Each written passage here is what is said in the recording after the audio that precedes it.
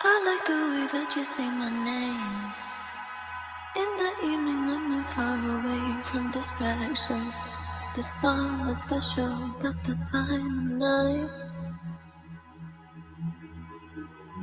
You like how I get into the mood, in the mood. Treat you like a man while I lose The song is special, but the time of night.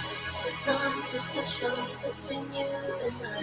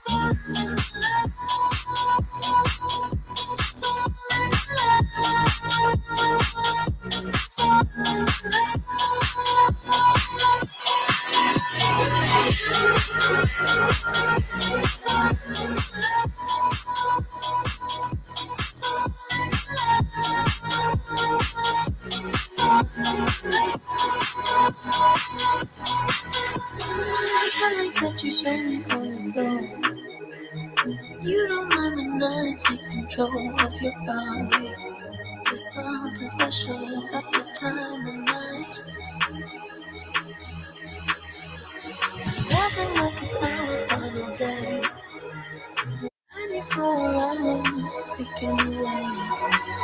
There's something special about this time of night. Something special between you and I.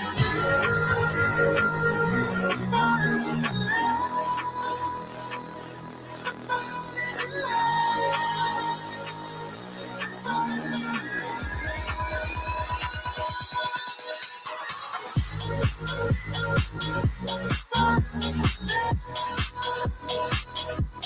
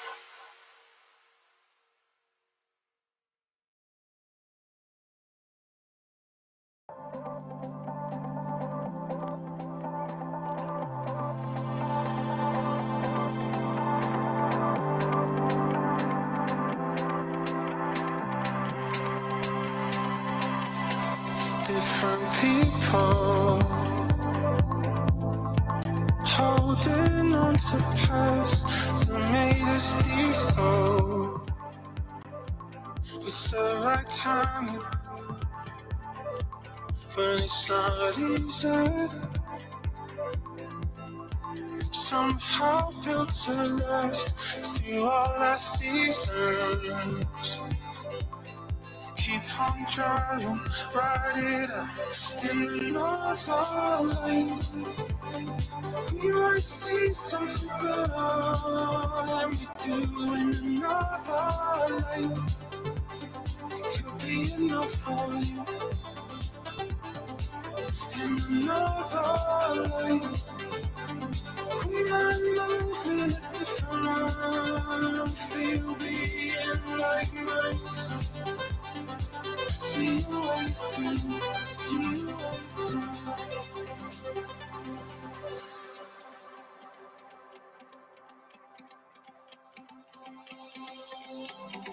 many sequels holding to a past I thought could lead us. Just keeps running.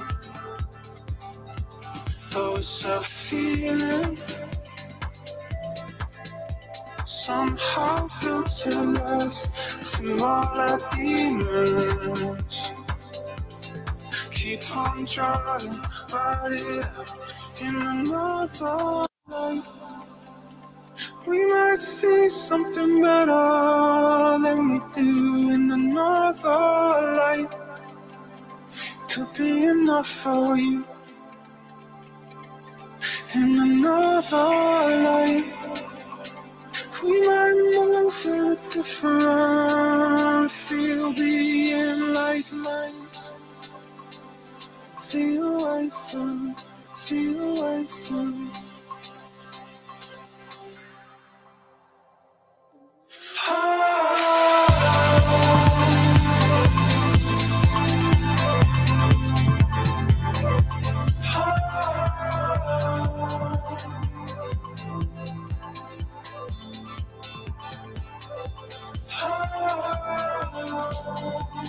In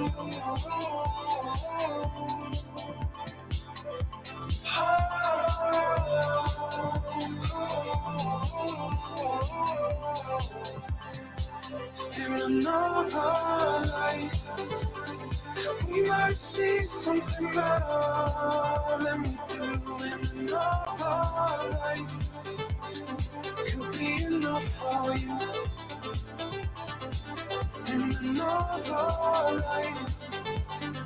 We might move different feel, being like. See you way through, see you way through, see you way through.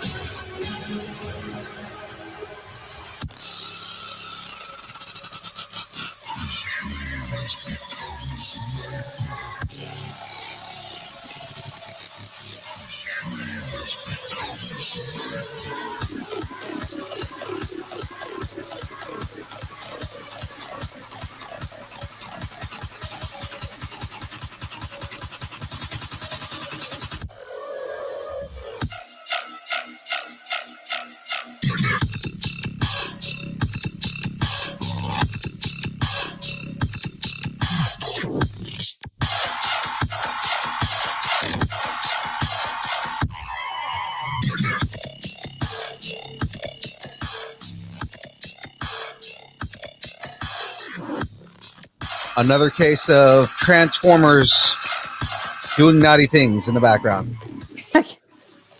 You know, you need to really change your music choices. I am not because I get pumped listening to dubstep. You guys, you guys can be all all sad and puffy and whatever. I, I'm I'm gonna continue to play dubstep. Whether you like Did it, you I just love call dubstep. me Puffy? Maybe. Oh my goodness, it's on now, buddy. I know a guy with a gun. I'm a guy with a gun.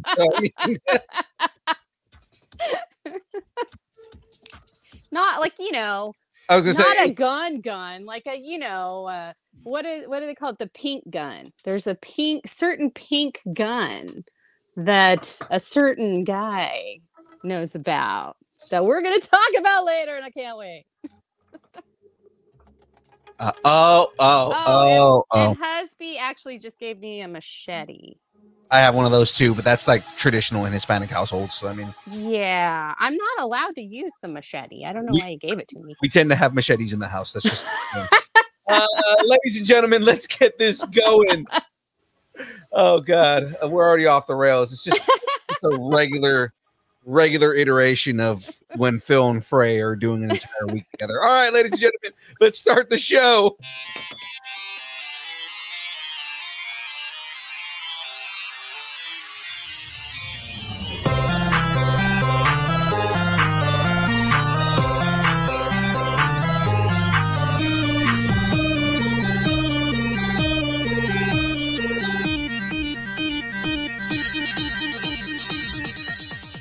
Distance nerding. Well, hello, ladies and gentlemen. We are here. We are ready. Me and Frey are already arguing, As always. but it's always a friendly argument. We don't argue because it's like, oh, I, I hate what you say. We, yeah. it's like we use You're right, but I'm going to tell you why I'm brighter. That's that's basically it. Like we never actually disagree on anything. but yet we still argue a lot. Anyway, ladies and gentlemen, you are now tuned in to your favorite Thursday show. It is now time for the build. And boy, I think I'm going to be finishing up tonight uh, on the the friend's apartment. Oh, cool. Uh, while we can, while we talk to our uh, to our guests tonight, uh, Say Wong in the chat asking, "Is there no graveyard?" Uh, graveyard will be showing up later in the show. hmm Uh, Fairy fan, welcome to the show. Hi, fairy fan. Uh, but yes, Hi, Say Wong. Hi, Darren. Aaron Hi, Watson in the. Aaron. A- Aaron himself, the uh, Agent Double A. Agent Double A. We will be talking about his feet later. All right, so Don't forget the mandals. and, and he knows it. We always talk about mandals. You know, it's funny. He does not own mandals. Uh, that, that, that joke came out of nowhere, and I was like, no, I'm running with it for the rest of our career. In, in Rest of forever. yes, I'm always gonna gonna- haunt people, and all they're gonna hear is mandals. exactly. And, and, and I want everybody to picture is like he has like raptor claws. Anyways, ladies and gentlemen, welcome to Distance Nerding. Welcome to the build.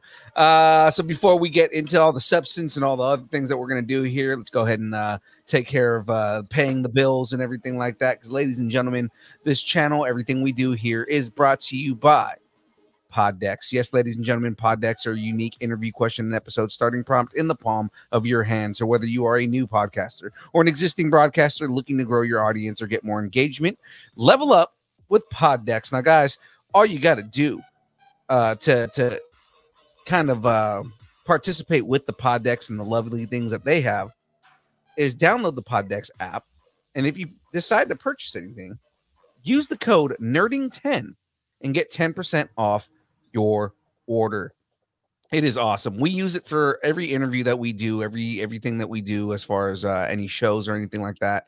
Um, we're going to be using it tonight. We're going to be using uh, Poddecks uh, in the future uh, in two weeks when we go to Idaho and interview a whole bunch of people in Idaho. So, Yes, we Uh, will.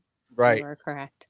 right, right. you are correct, sir. Now you know if Poddecks is what powers Distance Nerding, Uh-huh. you got to ask yourself, what powers Yung Phil?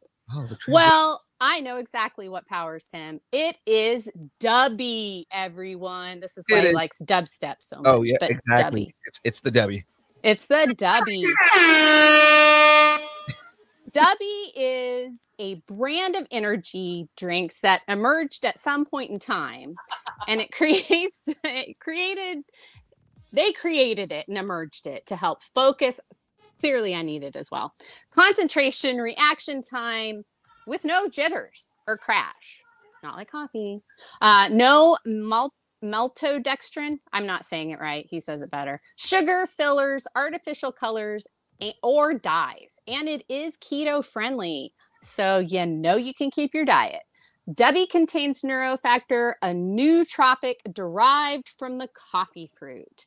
Neurofactor helps give your brain focus and clarity, while the 150 milligrams of caffeine and three essential B vitamins help you stay alert and energized. Find out more at www.dubby.gg.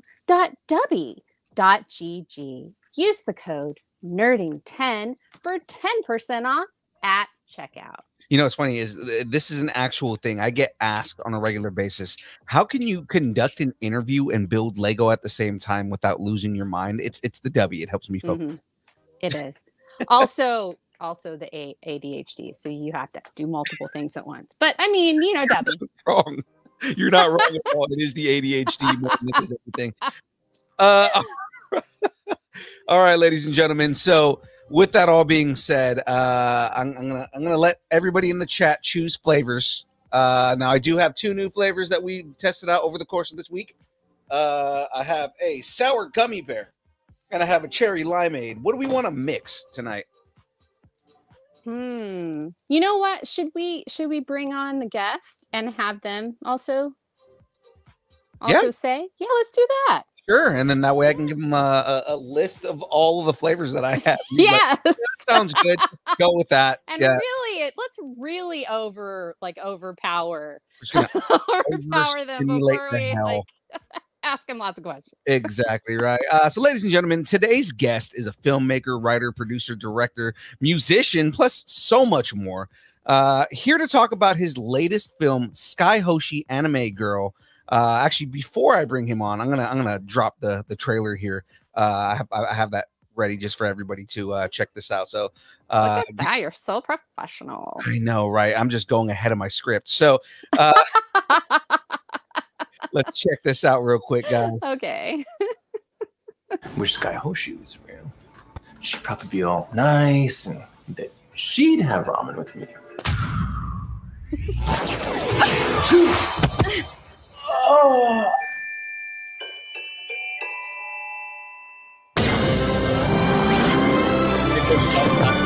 Hold it right there. Where the hell did you even come from? Sky Hoshi, the anime character, has just disappeared from the anime. What? This is insane. She gotta get you back to the anime.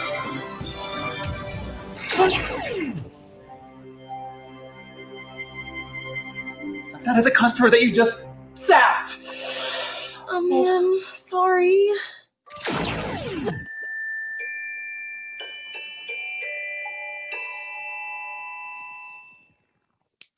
Not, not gonna lie, that's probably one of my favorite parts.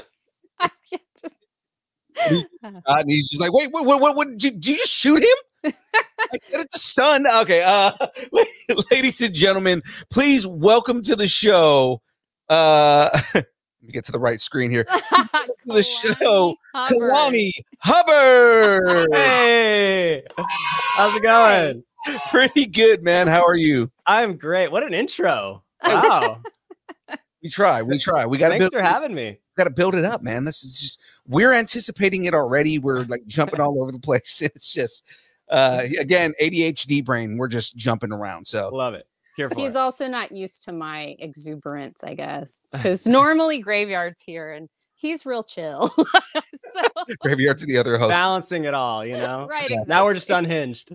Yeah, exactly. It's the two most unhinged hosts on this show really, yes. with no straight man. This is this is gonna go off the rails. There Um, you go. There you go. so just enjoy the ride. Yeah. Welcome to the show, man. Uh, so well, let's let's jump right into this, Kalani. Uh, before we get into your story, before we start getting into uh, everything uh, as far as your film and everything goes, uh, we want to learn a little bit more about you. We want to know about kind of what ticks in the mind of Kalani Hubbard, right? So, got two questions for you here, right? The Okay. first one: If a film were made about your life, who would play you and why? Oh, Who would play me? Yeah. Oh my god. What a what a what a great answer. Or answer. Oh, okay. Uh what a great question. I need to think of a good answer for this. I've never thought of this ever. Wow. I always catch everybody me? off guard with this one. Yeah. yeah. I okay. Who would play me in a movie about me? Well, I would hope that um I would hope it would be somebody let's think. Wow. This is I'm giving you like the worst answer, which is no answer right now. I don't know. I'm I'm really trying to think about this one. It would be like well, like, I mean, who who like do you feel like in your life, like are you the like indie cool kid? Are you the geeky nerdy guy? Are you the like secret jock who really likes musical theater? I mean, like think I, about I would say the first two combined. I'm somewhere in between the first two. somewhere in between the I'll first two. stop. I me and sports do not get along.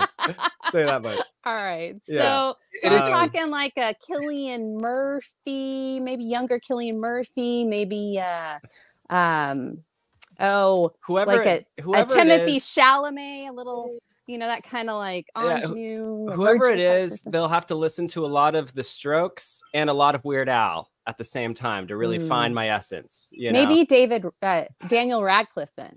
Daniel Radcliffe. done. right? Just because he played Weird Al, and you know at some I point hear- he listened to the stroke. He, Done. he told. I mean, okay. He would have to wear a wig, but Right. I, I'm sure he'd be okay with that. I'm sure he could grow his hair out. I mean, like think about like when he grew out his hair for Goblet of Fire. Like, I mean, Oh, Yeah, his hair go. was pretty long for Goblet of Fire. There you. Okay, Uh, good answer. that- that is. Uh, the next question here. We have a segment on the show called "Growing Up Geeky." What did you geek out on when you were a kid? Oh man, Pokemon all the way. Grew up uh, playing Pokemon, trading Pokemon.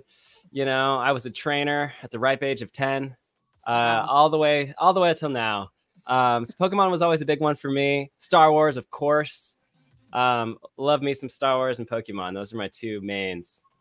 Um, That's cool. anything Nintendo, really. I grew up on Nintendo, so I just Okay. uh, love it all. That's awesome. Yeah. Like, yeah, I mean that Nintendo is more like a cultural phenomenon, like the whole thing there for a while.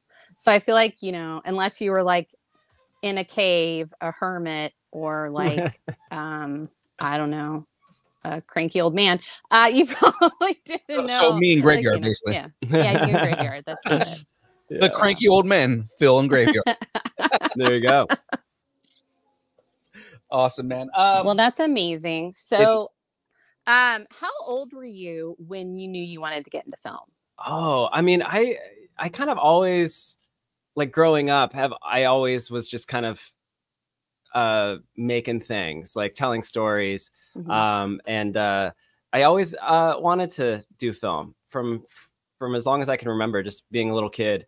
Um I would take my dad's like tape camera and uh make little stop action videos or or make uh you know I'd get older and and make I used to make skate videos with my friends all the time so we would like skateboard and stuff Oh, um awesome. and made short films growing up and so yeah i was always always a storyteller always trying to tell stories have fun and uh, a big part of that is is having fun with friends making something making something cool so um yeah just uh, always doing it and still doing it right? Yeah, yeah. obviously. I mean, yeah, yeah. uh, but like, so when did you realize that it was like your talent? Like, when did you go, like, no, this is what I, this is my bliss, my passion. Like, this is what I actually, I know, like, you can, like, as a kid, be like, hey, we're going to goof and do videos and stuff, and it's going to be like fun. And Mm. maybe we'll put it on the internet or whatever. yeah yeah Nowadays, when- back when I was a kid, we, you know, yeah we didn't have But none of that we didn't stuff. have the internet so much back then yeah, yeah that's true.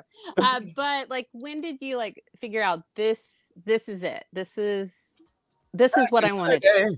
Yeah, I was. Uh, people started asking me to to to make things. Um, so I would just like make videos and have fun or whatever. And then you know, I had somebody ask me like, "Hey, uh, that, that was a really good video. Do you do weddings?"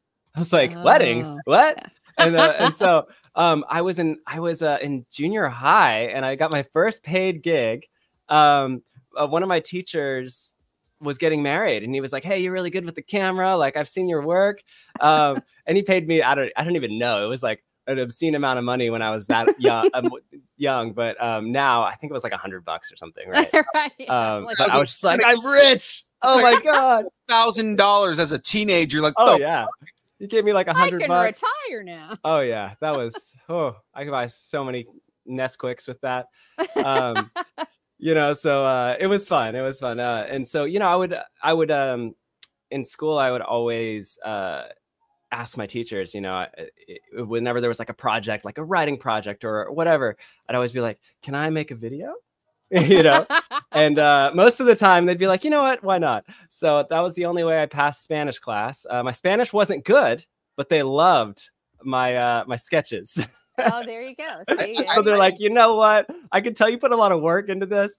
Your Spanish isn't great, but these are hilarious. You know, I, um, didn't, I didn't take Spanish in high school mainly because I was well aware that, like, you know, I don't speak Castellano Spanish. yeah, yeah, So it's like I'm failing because I'm speaking, you know, Central American Spanish and use the same words. yeah. yeah. So um, yeah, from from that to uh, you know, writing projects in school, you know, essays or whatever, I'd always be like, so about uh, video, is that a possibility?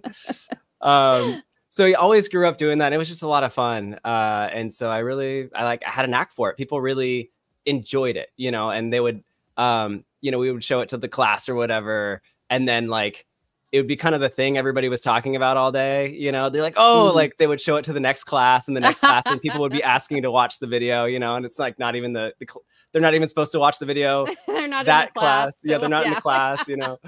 um, so it was fun, you know. I, I always uh, had a good time making things and entertaining, and um, and you know, a big part of it is is having fun with your friends and creating art, you know. And I'm a musician, uh, so I've always been in bands, you know, growing up too. Mhm. Um, and so there's something really special about making friends and then like making art with your friends. You know, it's just fun and, and cool. And um, and so yeah, that's that's kind of where it all started. Uh, Oh. and now I just kind of try to always get better at it and and always continue to take everything that I've learned and get better every time and, and make more things. So um, yeah, Sky Hoshi Anime Girl is uh, the the latest release, and I'm very proud of it. it. It was it was a wild ride, and it was a lot of fun to make. So yeah. So yeah, no, and like watched it. I thought it was. Re- I I thought it was so cute, and we are gonna talk about that here in a second. We got a Sweet. couple more pre questions. Yeah, no, I'm really for it. get into that pink haired little beauty there. but uh, all right, so uh, so where did you were talking about school? Where did you where did you go to school? Where did you matriculate from? oh, um, well, I grew up in California, Oh, okay. so I went to school in California in the Bay Area. Us. In the What Bay? Area, you're really one of us, man. I, so our show is based out of Sacramento, Oh no way! but I'm from San Francisco originally, man. I'm I'm, I'm from I'm from uh, the Mission, born and raised. Oh no way! Yeah, that's cool. I'm uh, I grew up in Vacaville, Cowtown. Oh wow, yeah. Yeah. Funny enough, Frey used to work with a show called um, Kyber Cave. They're actually our sister show, uh, Yeah. and they're based out of Vacaville. No yeah, way. yeah. Small like world. Love that. of- Tell them I I'm said not hi. there now. I'm in Oklahoma, so Okay. Hey, my my sister's in Oklahoma. She just moved there. oh wow. Yeah. Why? No, let- we're Um, getting off topic. Let's yeah, not yeah. talk about how bad Oklahoma is. Let's No, talk we're about Talking about how small the world is. right. World is a small place. Yes.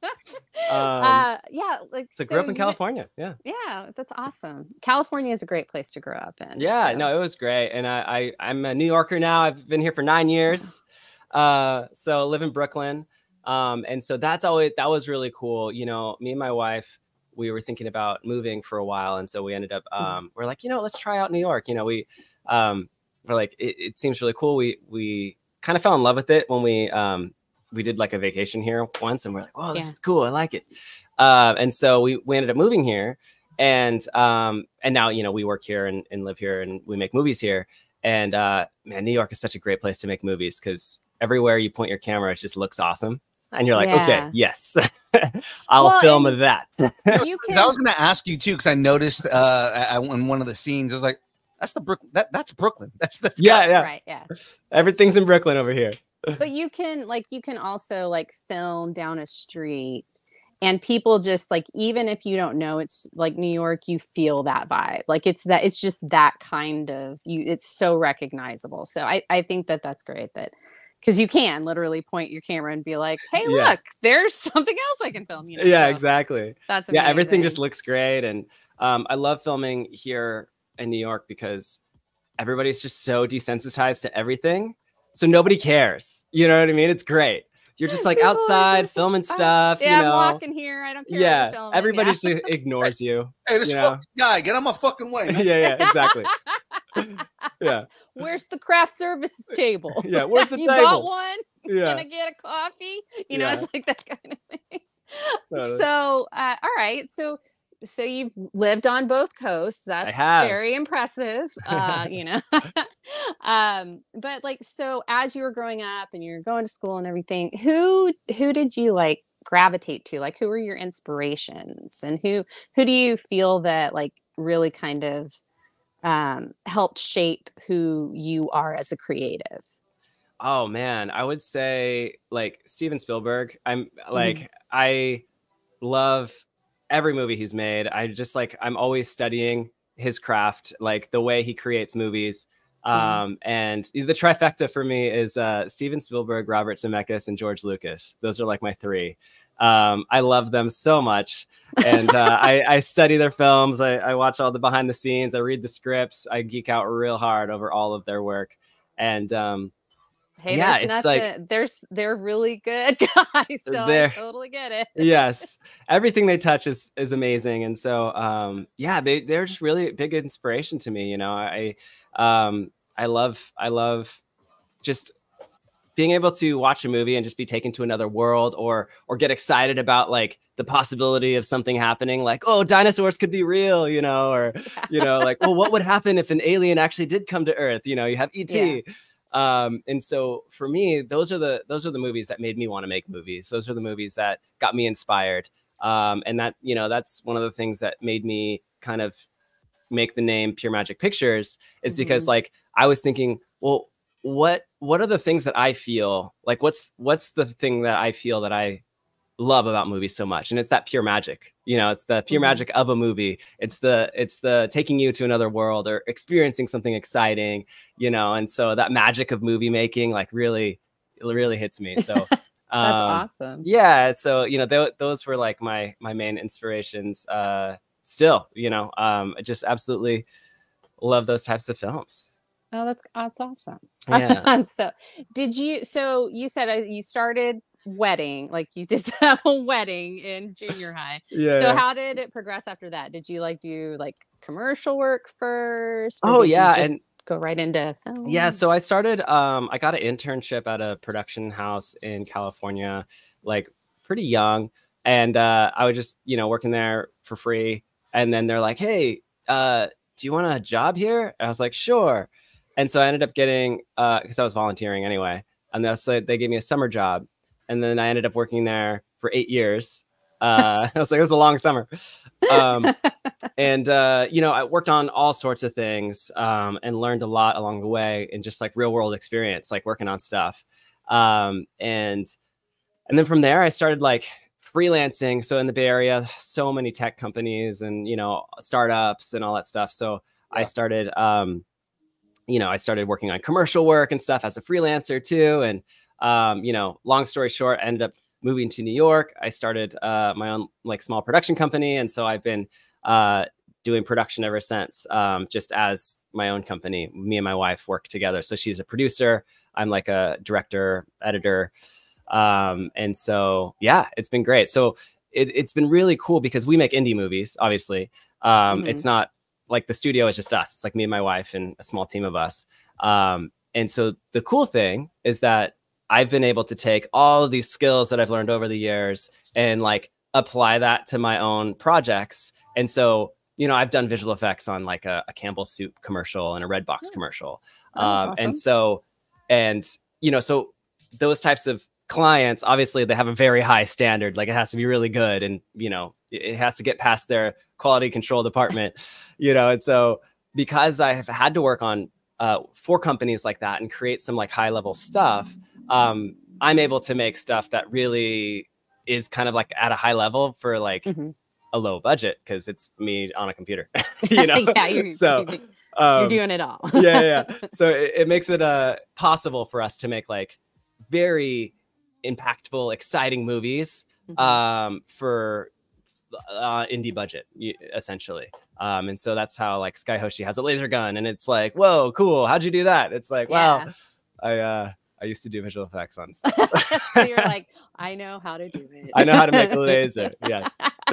Lasers are cool. Lasers and explosions. I, I mean, there were a couple of different visual effects that I was like, oh man, these are uh, these are surprisingly high level for an indie film, man. They- yeah, yeah. you know, so that that that kind of explains that. I was actually I had a question about the uh about the the laser gun itself. Um, I mean, again, I might as well jump into it. Sure. Uh, we do have other Wait. questions, but I mean, I was gonna say we have some stuff in here about Fenton's ice cream. Oh, Fenton's. Who said Fenton's? I remember that. so James, is saying he James- misses yeah. Fenton's. He, she James. Fenton's now. James is uh he's our uh, our other main host, but he never does Thursday shows. So Yes. Okay. No, I I grew up. Uh, I used to go to Peet's Coffee in the Nut Tree, Oh, uh, like Plaza, and there was Fenton's like right there. So we would go to Fenton's every now and then. Um, and yes, good times. Shout out Vacaville, Nut Tree Plaza. Yeah, and so then James said everything they touch except the Star Wars holiday special. No, I will defend the. hot, I will do a hot take and say the Star Wars Holiday Special is so horrible. It's awesome. I watch it every single year. I force I force my wife and all of my friends. We throw a holiday special party and we Oh. celebrate Life Day. And we That's watch the holiday special every year, and everybody's groaning the whole way. But man, it's still a lot of fun. okay, okay. Uh, just to go with you on this, right? Without the holiday special, we'd have no Boba Fett. We So would, yes, that's what I'm saying. That's what I'm saying. and the Mandalorian wouldn't have had his amazing like laser cannon gun that like incinerated I mean, we got some good cannon right there. yeah, there you go. uh, yes, they did. Which means that if if this holiday special is canon because that's how, where we got those characters that means that chewie does have a family Mm. uh, i think uh lumpy w- lumpy and Lumpy. was one of them lumpy and itchy or something I don't even remember. It has Yeah. been. I have slept family. since I watched it last. yeah yeah uh, I would be groaning what a, if fe- I what were a fever there- dream of a of a movie that is I thought, I thought Itchy was a stripper from Miami. uh, it's not exclusive. It could be both. it could be so both that's all it I'm probably saying. is You know, itchy fell on long ti- uh, on hard times. now that now that Kashyyyk's part of the uh, empire, so you know. Uh, so all right, so back to indie films. All right, Yes. so uh, other than your own indie films, Mhm. uh, what are your favorite indie films? Oh, I mean, Napoleon Dynamite. I mean, come on. Yeah. That movie's great. Comedy gold. Love it so much. Uh, Never couldn't- seen it. You Eat your couldn't. food, Gina. God. Yeah. Never seen My it. lips hurt real bad. yeah. It's uh it's so good. It, it was the movie that we all quoted way too much in high school, you know. Um and it's still great. Goddamn quesadilla. Go eat your. Quesadilla. yeah. Tina, you fat lard. Yeah. Eat your dinner. Oh, the one quote everybody did relentlessly. Do the chickens have large talons? Oh yes. oh, Chris. Oh, Chris. Hello. I love you. Hey, Richard. there's Chris. Chris was was Chris the comic book store? He owner? was. Yeah. Shout out Chris, Mr. Mario, comic there we store go. owner. There he is. Ah, love you, Chris. Glad, to, Uh, glad and. I didn't I didn't think that he was like every comic book store owner I've ever met in my entire life. He's a, he's a mal- he's a, just a combination of all. right? Yeah. so okay, so and you said you also you have been in bands Yes. and you do music, and I know you did the music on on Sky Hoshi. Mhm. And so, how long have you been like writing and like making music? Like as Oh, long as you've been, you picked up a camera and then you what did you have drumsticks in your hand? yeah, it kind, hand? of, it kind of happened at the same time. I don't know. Yeah, one day I just like today's the day, and I grabbed a drumsticks and a camera, and I was like, "Let's go." You're Um, like, it's time to be creative. Yeah, I'm like, it's time to reach my final form. Um, that's pretty much what happened. But uh, you went super Hubbard. yeah, yeah, pretty much. Um, but yeah, I mean, it's all. I mean, I was, I think I was in junior high when I got my uh, electric guitar for Christmas. You know, I was in junior high, Yeah. and uh, I started a band with my friends. None of us knew how to play our instruments. It was great, Yeah. and we played Blink One Eighty Two. Uh, we we we did Blink One Eighty Two songs, but we changed all the words because we liked Weird Al. So it was like it was like Blink One Eighty Two with Weird Al lyrics. Oh, what a world it was! Um, that is awesome. and uh, our band was Buzz and Harmony. I don't know why, but it was junior high brain, and uh, you know that's that's where that's where the music started. Um, I still We're love pop punk. It's like we're from Vacaville. Papa Roach is from Vacaville. Hey, You that's know, right. you can make That's our claim to fame. exactly. and I'll raise you flaming lips. Oh, they're They're great. from Oklahoma. Oh, they are. I didn't realize that. They're awesome. Um, but yeah, that's uh, yeah, That's awesome. yeah. So yeah, so rare candies, which love the name. Yes. I love, Love it. it. Okay, candy. and yeah, I'm a trying to cut very, down on very, sugar, and it made me want to eat evident- sugar the It was a whole very time. evident Pokemon nerd reference, and it's Well, yeah, so good. Yes. Love the Pokemon reference. Um, but yeah, I, it, it I was gonna say it feels really like indie rock, and it's so well done. Like it is so like all of the Very music Sexpa is Bomb. So yeah, sex Bomb. nice. It was very much like that. So, uh, but yeah. So tell us all about that. Tell I us Yeah. gonna about say before before you jump into there, like you know, Oh. Red Candy's, the band itself was supposed to be a shitty band. yeah, it mean- it was supposed to be, but You could have made the music a little more shitty, man. It was, that was too good. Like I, that, that's the only thing that took me out of it was like, you know, like I was so like, funny. why are they not like so excited about this song? no, You know- like, the only like what took me out of it was like, okay, they're going to go do a a, a, a live like like a house show basically. Uh and and like nobody's there to see them, and it's like, oh yeah, we suck, we're terrible. It's like, dude, you guys are fucking badass. that's so music sh- funny. The music should have been just a little bit more shitty. that's a little worse. Just, just- that's hilarious. I would have believed it more if the music was just slightly more shitty. Oh, hey, next time, next time. Yeah. that's hilarious. Yeah. Um, I some somebody told me um they're like they said that the um the song that we play in the movie um Tamagotchi. They're Yeah. like they're like what are they listening to? Tamagotchi is so good. Like why are they hate why are they hating so bad? Yeah. I was thinking the same thing. That was Yeah. the exact song. I was like, why is nobody loving this song? I'm not gonna lie, I like be, before the show today. I sat there and listened to all three of those songs because they're on Apple Music. So I was like, I listened to all three of the songs from this th- th- this movie back to back. yes. Thanks You for the guys got stream. a shit ton of shit ton of plays right now. Yes. Yeah. he just had um, it on a loop. He was on a loop. like, hey, I'm that's what it's all about.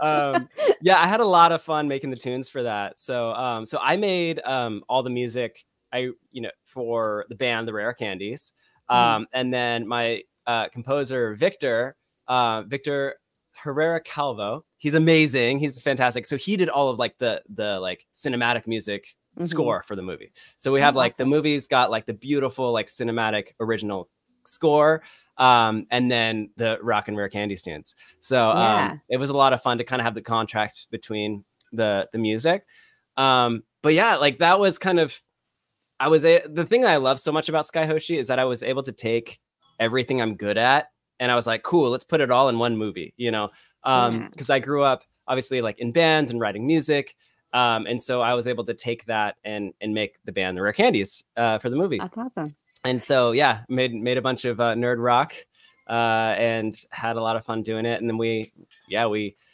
um, yeah, did like the music video type stuff for the movie, and yeah, it was good. it was fun. So, how would the host of Good Magical Morning describe Hoshi, the movie? How would how would they do that? Like, give us the synopsis of it, but do it like Good Magical Morning would. okay, so I, I'm I'm saying it as if I'm telling you like it's a movie, not how we were in the movie where we didn't know what was going on. no, you're gonna like it's like you're doing the like, hey guys, there's this movie coming out. Okay. Sky- yeah, yeah, There that kind of. I'll give you thing. one of Yeah. those. I'll give you Okay. my uh, my best my best Kalani from Good Magical Morning, uh, telling you about a hot new film that just came out. okay. Um, all right, you want me gotta, to like cue you? I gotta get my uh my coffee mug. It feels it only feels right Okay. holding it. Get you in, know. get in, get in. Get in Is that how you got in character? Was Yeah. the coffee? Here we Oh, go. The coffee. Here we go. Cold coffee. All right. this, is, this is from earlier today, but there's still something in it. I'm I'm I'm leaning into it. All Um, right. Yes. Hey, Kalani, I heard there's a new movie out.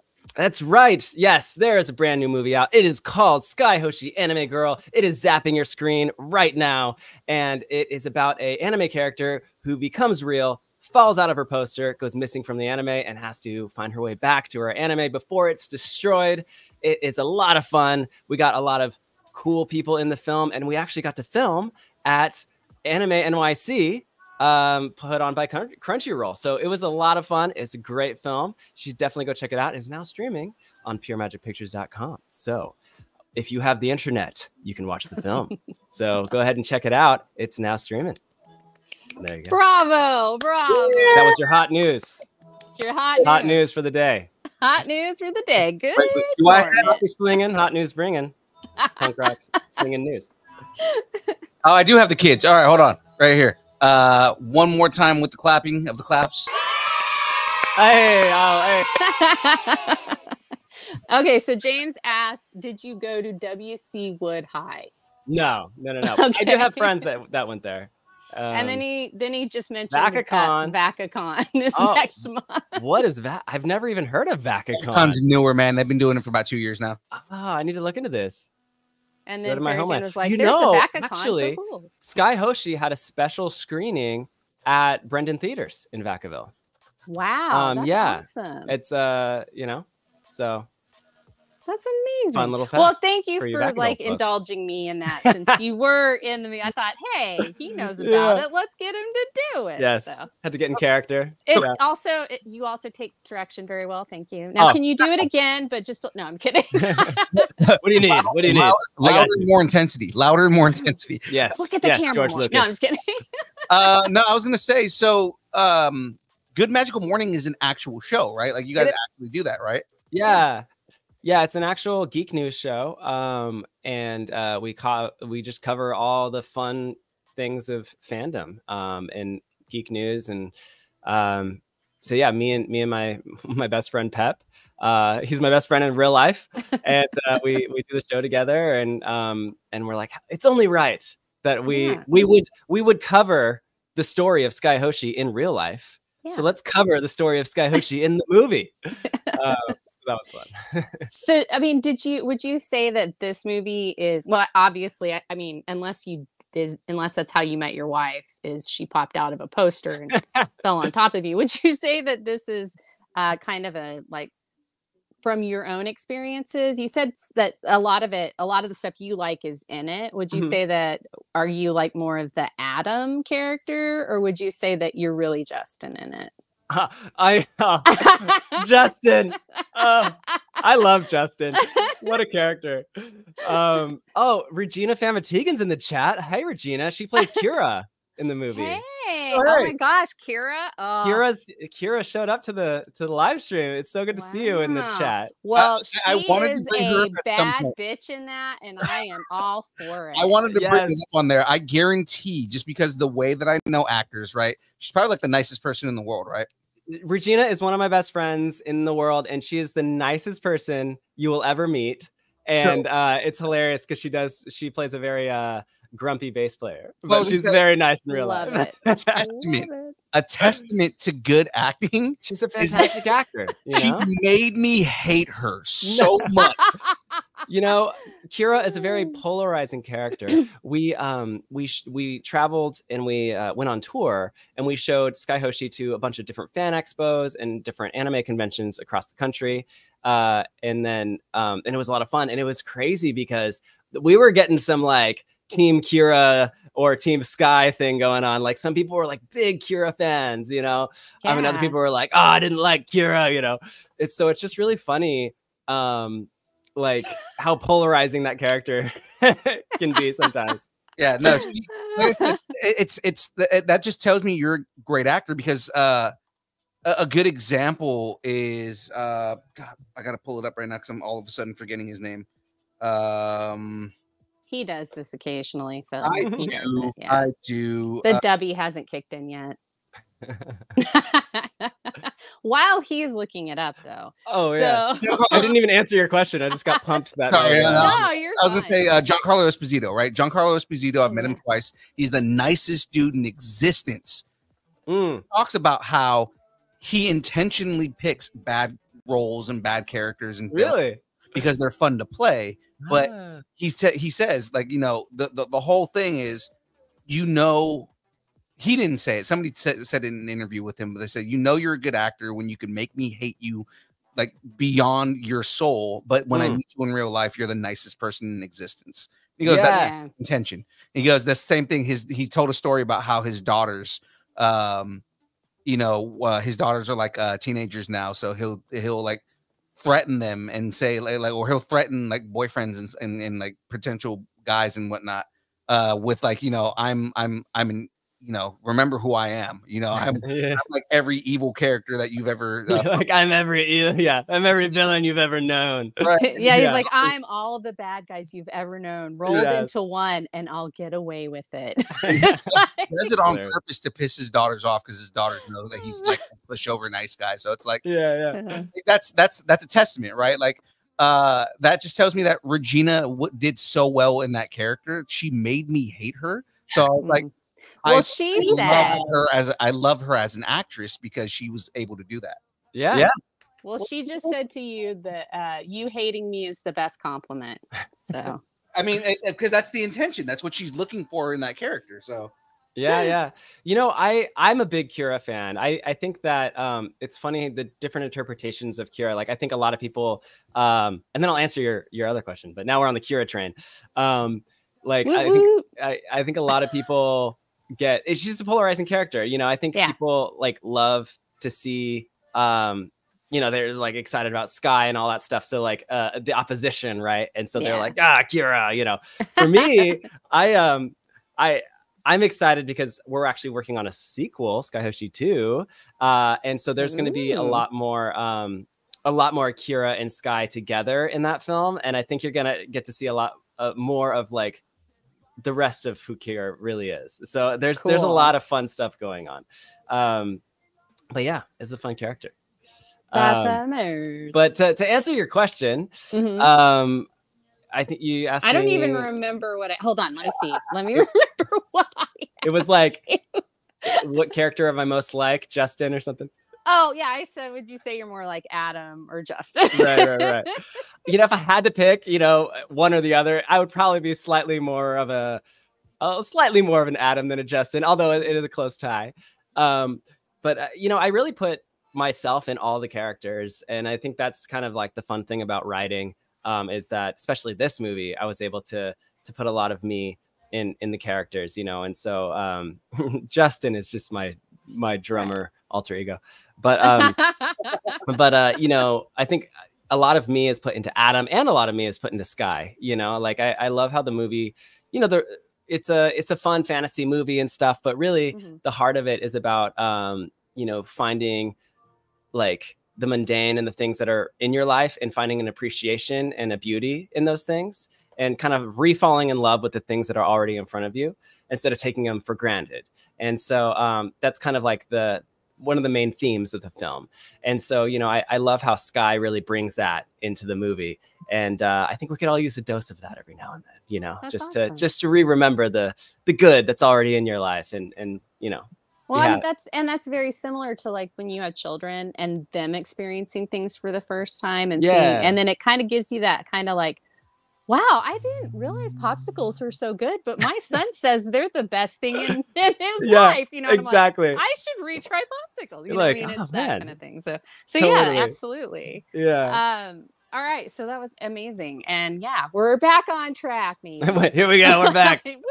All right. I'm sorry again, ADHD brain. All right. Uh, but James asked in the thread, he does ask a lot of questions, so we will be pausing for that. what is the most difficult and or unexpected part of making this project? So like what did you struggle with? What did you Yeah. breeze through? Well, a lot of a lot of a lot of stuff. This movie was a labor of love and it was so much fun, but man, was there curveballs left and right making it.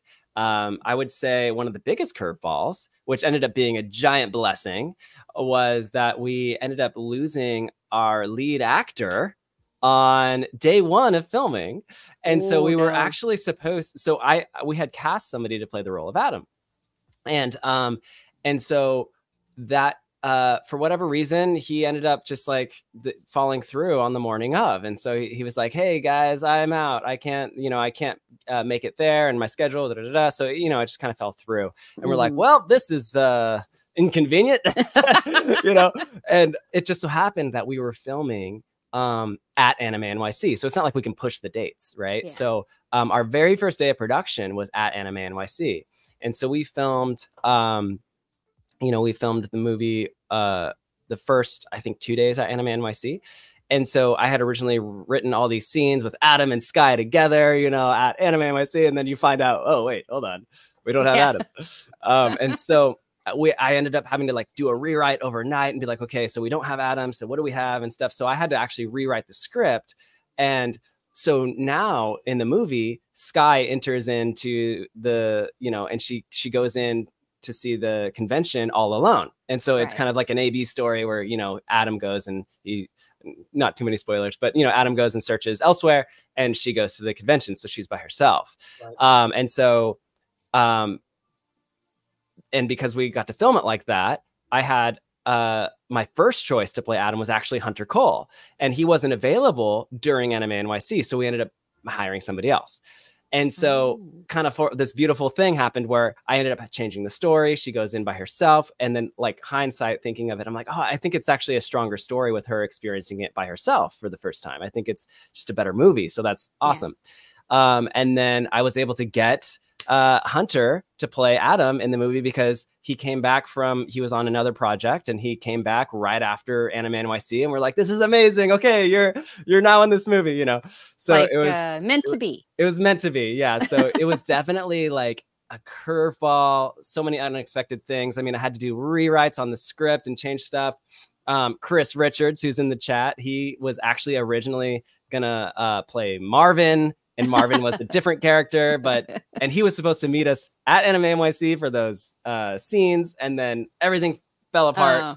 and so I had to rewrite it all um, but ended up making a great film. And uh, and I can't even imagine the movie without Chris Richards being Mr. Mario, right? Yeah. And without uh, Adam or Hunter being Adam, and without Sky going by herself to the the convention for the first time. So all of these crazy things that kind of throw you curveballs, and you're like, oh my god, what's going on? Um, it makes a better movie uh, and uh, it makes you really think on your feet and think outside the box creatively to be like how can i Mhm. solve these problems um, and so i think you have a more unique story and you have something that uh, you wouldn't have thought of um, because what i did think of we would have done right, right. Um so it's it's now it's something that i would have wouldn't have just thought of on my own. And so when outside forces kind of force you to do stuff it makes a just a better movie. And so it, ended up being really cool. And that's that's the thing i really really enjoy about indie filmmaking. It's like a little bit of heartache and a little bit of like wild ride whirlwind where you're like whoa like what's going on? Something crazy just happened you know? Um but you end up creating a very unique story and you kind of catch lightning in a bottle. So Yeah. um, yeah. Do you like i mean so obviously eh, when you're filming and things like that happen and you have to change things is it hard for you to let go of the original? Like is it hard for you to be like oh but this is my baby and i want it to be like this or you just like nope slash it let's do it over we need to do this. Yeah yeah. I think um as i'm becoming a more like as i've directed more and more i'm just getting much better about being a little less precious with things Mhm. um because you know i you could you kind of experience heartbreak every day as a director because you're like this is what i want you know and then like like reality hits you and you're like well i can't shut down the street uh and i can't get the camera crane you know and so you're like okay well how do i do this? Or um or you know you you lose your actor on the morning of or whatever it might be um so you every day you kind of show up and you're like okay i know i'm going to get thrown a curveball that i'm not expecting. Mhm. um, and my job is to be able to think on my feet and create a better story because of that. And so like it's a weird skill set that you need to have uh, and it's one that um, i actually really enjoy weirdly enough. It's like this weird like what's going on? But you problem solve your way through it and you make something better. Um, and so i think at first like my first feature i was like just sad the whole time. Like oh no this didn't work out. Oh Yeah. man now this you know. But now um, i'm working on my fourth feature and uh, i'm like yeah this just how it goes you know? Like this happens or that happens. But i've seen the other side of it and the other side is just a better movie. Um, and so when you kind of accept that and you learn that like that's my job. I, i'm supposed to just be able to take these things think on my feet and and you know my job i'm the keeper of the story right? Like i'm the storyteller. Um, and so as long as i can tell the story that i need to tell in the most compelling way Mhm. um, i can tell it in many different ways. And so that's kind of the exciting part for me is like whoa what, went- what went wrong quote Right. unquote today that i can make a better movie at the end of it? Yeah, it just It- makes you think outside the box. exactly yeah Um, I mean, it just means that you love chaos, and that's okay because I'm, I'm a so total chaos chaotic. queen. Yeah, i'm chaos so yeah Chaotic good. It's okay. chaotic good just Yes. means that I, you know, if to make you happy, I might kill the whole whole city just to make you happy. That's what chaos Uh, queen means. oh no Uh, do i sound like a supervillain No, no. no, no, That was just like you know, that's No, I'm it's, just kidding. it's a paraphrase of a bar of a Buffy quote. It's like, Where I was gonna say it's a character reveal for the sequel. Oh there it's the it's the season three prom. Mm. And she said, she's like, you're gonna have a prom. You're gonna have the best prom. If I have to kill every single person in Sunnydale to make it happen, and they're that's like, hilarious okay, you're like all right that took a turn but yeah, I it was love the enthusiasm yeah. right, yeah. Uh, and she could. She was a slayer, so you know that's you that's her thing. There you go. Um, probably dating myself a little there, but you know, whatever. Uh, so I really liked Sky Hoshi. I just thought that it was so cute. And there are a lot of different things that I thought about. And maybe it's just because I'm Barbie obsessed. I really am Barbie obsessed. I'm Love it. Barbie obsessed. Um, but that uh, I felt like there was like when you separated them and what made it feel like like more um, powerful for me was that she kind of had her Barbie moment. She Ooh. had that moment of realizing I'm not who I was written as or who I was perceived as and conceived of. I'm somebody else now. And so she had that moment of I'm a real person. And like, and so I thought that was great. I thought that like realization on her and how you just kind of kept it on her during that yeah was amazing. So I yeah, I'm totally on board with that. And I'm Oh, so glad you. you're not like being so precious with your stuff and that you can do stuff on the fly. So yeah yeah, so I did want to say that because I really like it stood out to me. I was like, this is her this is her moment. This is her becoming aware that yeah it she's not who she thought she was. She's somebody different because Right. of the experiences she's having. And so I thought it was amazing. So Oh, thank job. you. Thank you. I'm so glad you enjoyed it. Yeah.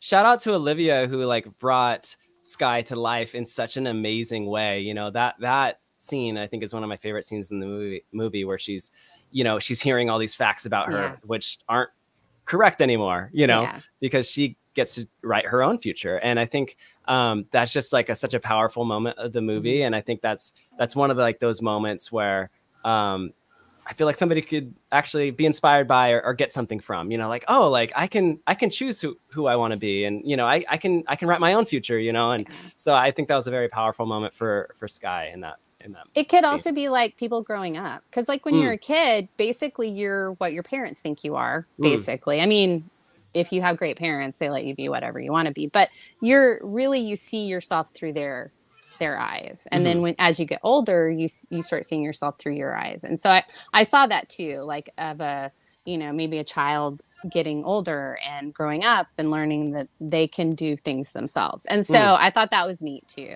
so it was a really nice like little you know see through uh, pass through type thing that actually had a lot of emotion to it. And i think it really helped earn the end which i Mm. won't give away but I, I do think it helped earn the end of the of the movie but okay Nice. so oh, I'm happy you loved it. That's great. yeah it was, i thought it was great. Uh, and you know what? You give a pink gun pink hair i'm all about it. I'm just Here- yep, you. a here barbie obsessed. I loved jim i'm all on the pink train Love okay and that sounded really that phrasing was not good i apologize Phrasing? Raising. Yeah. I almost wore my Archer shirt too, so that was uh so the so you said so you do you've done visual effects, and I have to say the star at like at the end, the star. Oh yeah. I loved that. I was like, how are they gonna do that? Because you know, you showed the merging and like the the stars fading and stuff, and then there's that the end where the star, and I'm, that's all. I'm gonna be as vague as possible, but you know what I'm talking about. Yeah, yeah. yeah. Um, I loved that, and I loved the color, and like it was almost like a like a kiss. It was like that kind of like mwah, like how you would do like how you would see a kiss in color. Yeah. I think, and so I thought that was neat, and it was such a juxtaposition for the moment that it was in Mm. that it like almost made me feel better. Like I was like, oh. Oh no, everything's gonna work out. Like, you know, that kind of thing. So I I loved that. But yeah, that was that was pretty visually affecting, I think. yeah, yeah, absolutely. So how did you how did you construct that? I mean, did was that all on computer? Was any of it live well, or real? Yeah, so I did a lot of combination of practical effects and then you know visual effects in in Mhm. um, After Effects, and so um, the star moment specifically, the way I made all the stars work is um, my wife Stephanie actually folded all the little paper stars. She's one of the few people that can do it. All of us on set, we had to do a lot of stars in this movie, Yeah. the paper stars. I cannot fold a paper star to save my life. Um, I would be in trouble if I had to. Um, and so it's funny, like we all had to like fold stars at one point, and um, mine weren't looking so good. Um, and so I, I was like, I'm gonna go back to uh, setting up the camera while other people uh, keep folding stars. Um, so Stephanie folded all the pretty stars that we had, um, and all the rejects ended up being the ones, uh, you know, elsewhere.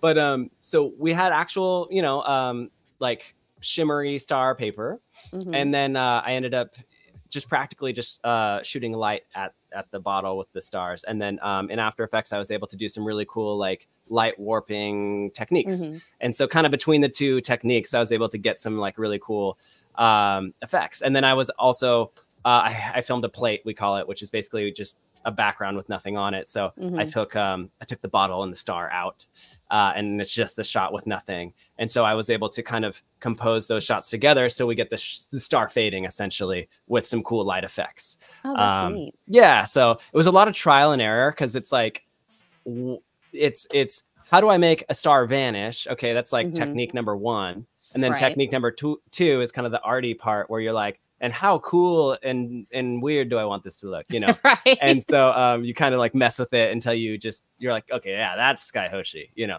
So um, so Right. I did a lot of variations of like how the star fades and dies, and uh, and that was the the technique I ended up on. But I'm glad you liked it because that was the one I that I ended up going with. I I really like I because I liked I loved I liked the through line of the stars. So Mhm. how it started at the beginning and then the story and like the background. I loved that. I thought that was so cool, like that Oh. story and how she told it. Yeah. And then at the end, I thought like I I really felt like the stars had their own emotional arc almost. Like you know, I mean, they didn't, but you know what I mean. Like they had their own arc. It was Right. like what's going to happen, and you had a ticking clock without Mm. it being a clock. You Right. had a time frame that you had to do stuff in, and so it really gave a sense of urgency. But it did it in such a fun and anime way like Yeah. in in something that, that it's totally anime anime wouldn't go okay we have an hour you know like it Right, would be, right. you know it'd be like at you know so many purple sunset you know that's Yeah, that's an totally. anime thing so it was really it was nice and it was um it was a nice like little um I'm gonna say amuse bouche because I just Mm. love saying amuse bouche, but I like an I love it. amuse bouche of anime Yes. in, in the movie, so that you got that feel and you had that through line, Mm. and it was always in the back of your mind. Oh gosh, okay, how many stars are left? How long have they been together? Right. What's going on? You know, like that. And um, and then uh, Phil and I were talking about the ramen scene when he's teaching her to make ramen yeah. that how that was very cute and it, it, like reminded us us of like Scott Pilgrim versus the world kind of thing and we were like Yes. oh so cute you know That's so great. we like Uh, that too a, a lot of the a, a lot of the scenes just gave me so many uh, uh Edgar Wright vibes. Mm. Like, like like the opening scene in the movie is very Scott Pilgrim, like just Mhm. go- doing Yeah. the band and everything. But then the uh like almost the dramatic cuts when he's doing the uh uh when, when he's making the ramen. So like you know they're doing like the the, the you- you're doing the pull away but with the uh with the action shot Oh yeah, yeah. in the bag and then pouring the water and it's very much like a like a Scott Pilgrim scene. I'm like, oh, there's so much Edgar Wright in this. nice. Yeah, yeah. I don't yeah, know. I've I've heard a lot of people mention Scott Pilgrim. Um, and I totally like I totally get it. Like I um I've I love that movie. I've seen it um so many times now. It's such a good film. Um, but yeah, it's it's funny. I never really had Edgar Wright or Scott Pilgrim in my mind when I was making it. I, I was actually thinking of like E.T. I was I see, had I could see that too when you Yeah. said Spielberg and you were talking about ET I, could, I was like yeah like a fish out of water type thing like Yeah, it's yeah. that story of oh my gosh what is this it was like Wonder Woman in the first one when she was like ice cream like you know what I Yeah, mean? It's yeah, yeah. it's that kind of moment so I, I yeah I Totally. totally felt that but I feel I think it's funny because yeah, a lot of people have mentioned Scott Pilgrim, which I totally get. Like I totally see that, you know. Um, but I, I had uh, I had ET on the mind while I'm, while I was making it. Yeah, you had ET on the mind but that anime I think just pushed it right to Yeah, Scott I right to right to right to Scott Pilgrim with the anime. Yeah, I mean, hey, Rightfully I, so. I feel like it's a compliment because Oh, that I'll- was a pretty kick-ass movie. Oh, so I love- like, such a good film. Yeah, a- and you did the twist, like the the badass was the girl, really. so Yeah, that's right. That's right. uh, so um, so you did so with the star, you did that. So did how did the how did the actual like lasery part of the laser gun start? Like how did it, how did you compose that versus that star? Was it like a similar process or was it? Yeah, the laser gun was a lot of fun because it was all like the laser itself was all um, computer generated that I Mm, did in After Effects. Um, but the fun part was everything that she shot um, was all practical. So, um, you know, when she shoots the the buzzer on the wall, Yeah. Mhm. and there's like a hole in the buzzer. So what we did is a little bit of a camera trick. So we had two buzzers, um, and uh, it's just like literally like taped to the wall. Um, so the first one is just regular, and the second one we like burned a hole in and made it look all like messed up. And so we, you know, start the shot on the regular buzzer, and she shoots the laser, and we whip pan over to her, and then while we're staring at Sky, somebody, uh, uh, our prop master, she grabbed the. Uh, she grabbed it and she did the old switcheroo. So she took the, the clean one off and put the messed up one on the wall. And then I pan back to it and it's all messed up.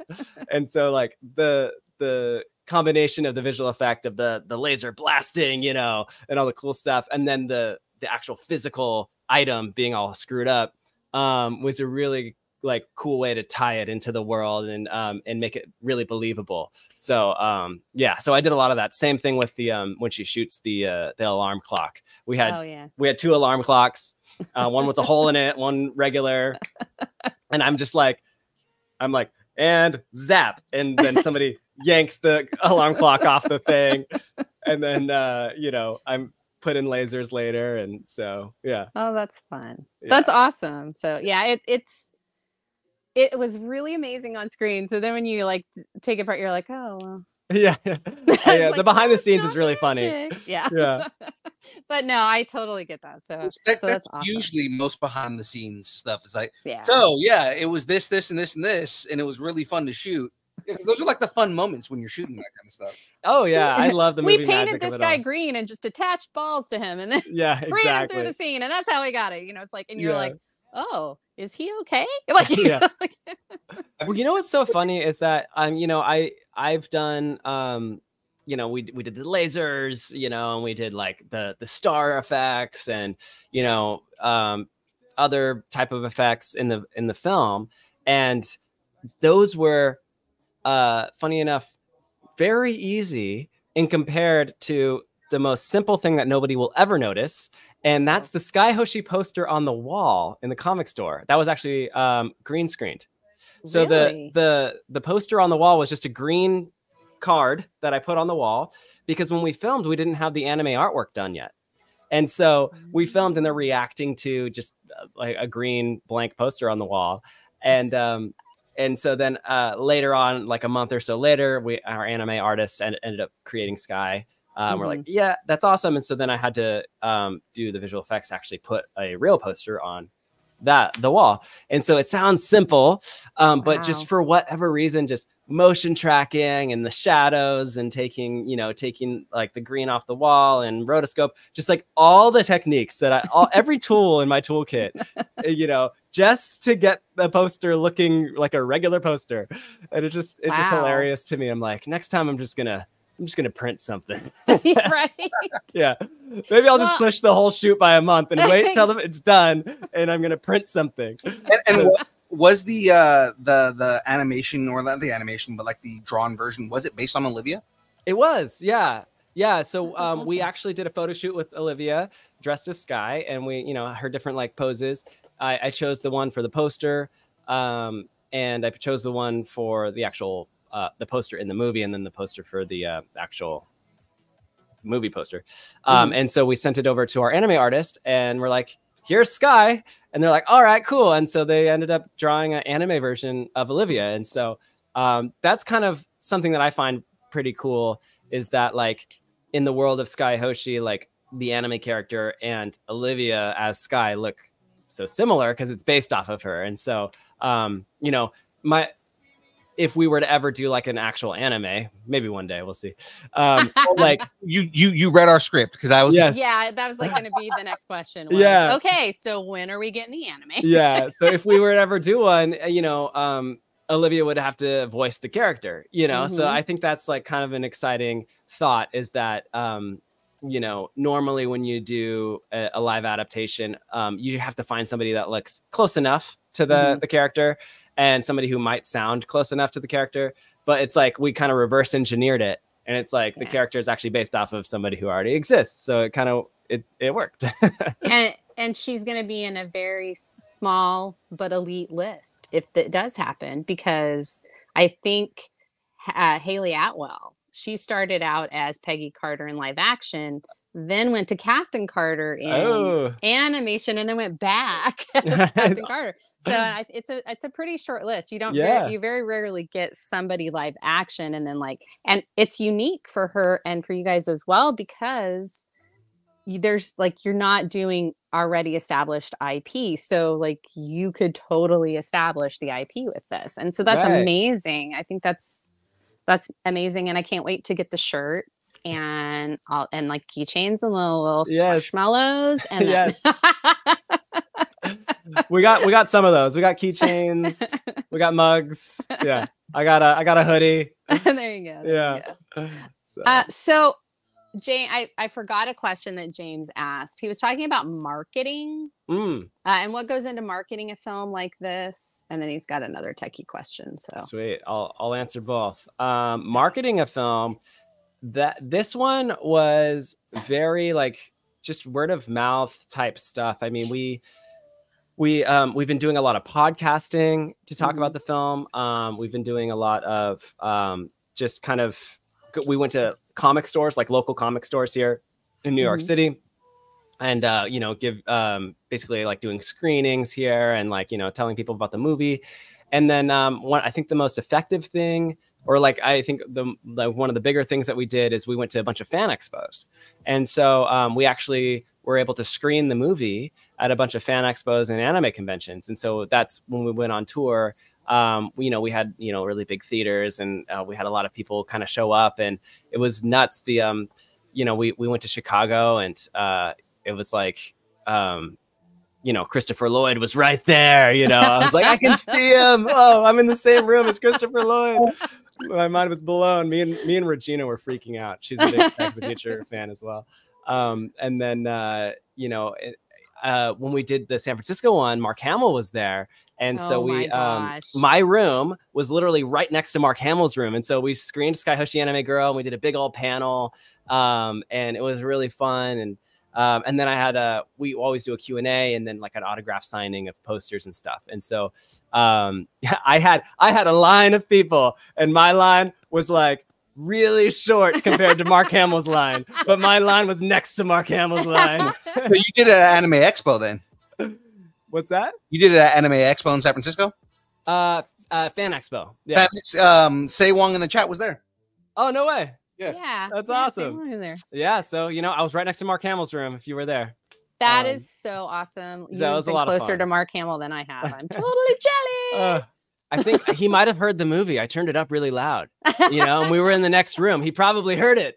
Mark I'm heard surprised my he movie. didn't. I'm surprised he didn't come in and go, "Hey, you kids." Hey, turn that racket down. Yeah. He heard the rare candies. He heard us play music. oh, my there God. you go. Yeah. I'm He's sure probably he like, Tom. Uh, was it Tamahochi? Yeah, yeah. My God, you- Tamagotchi? I'm, I'm sure at, well, at one point the, the, the music was playing and he was like, uh, you know, I really want to know who, who this band is. He's like, ah, I think I have a new favorite band. What is this? Rare, Right. rare something?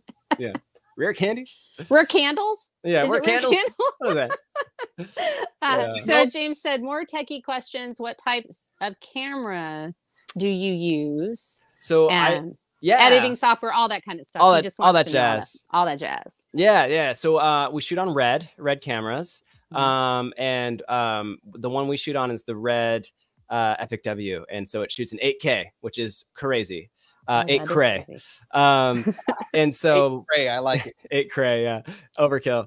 Um, but it has a, an amazing uh, sensor. It's a great camera, and we actually um, we filmed it uh, on a Angénieux anamorphic lens, and that was very cool because um, somebody who had this is a long story. I'll make it very short, but basically, a guy that I had seen my work before. Um, he actually is a part of like the Angénieux lens company and so uh, we reached out to Angénieux and we're like hey we're doing this movie i think it would look great on anamorphic you know um, Mhm. which is if for people who don't know anamorphic is basically just like um like a more traditional like sci-fi type of lens um and so uh it anyways so they were like oh actually i've i've seen kalani's work. Yeah we'll we'll let you borrow a lens for a little bit. And i was like what? This is crazy. Oh, that's so like awesome. awesome moment. So they sent us this crazy expensive lens that we were able to use. Uh shout out Angénieux love that. And we filmed it all on anamorphic and the lens that we used is the same one that they used um on the um star trek movies. And no so way. That's yeah, awesome. yeah so uh sky hoshi's got a little touch of star trek in it. Um so that was really really cool to have that and so uh, you'll notice like the movie has a lot of beautiful lens flares that is why I, I, the- I noticed the lens Yeah. flares a lot. yes yes that is the I Angénieux. noticed the rainbow lens. Yes, the rainbow lens flares. I'm like, this is so sick, so Yeah. beautiful. So yeah, um, it was awesome to shoot on a lens like that epic. Like it's- Uh, it wasn't as bad as like a bad robot lens flare, but it was lens flare though. Yeah, exactly. So um, so yeah, it was really cool to have that. Um, and then editing, we we do all Adobe. So I edit in Premiere, we do a visual effects in Premiere, all that good stuff.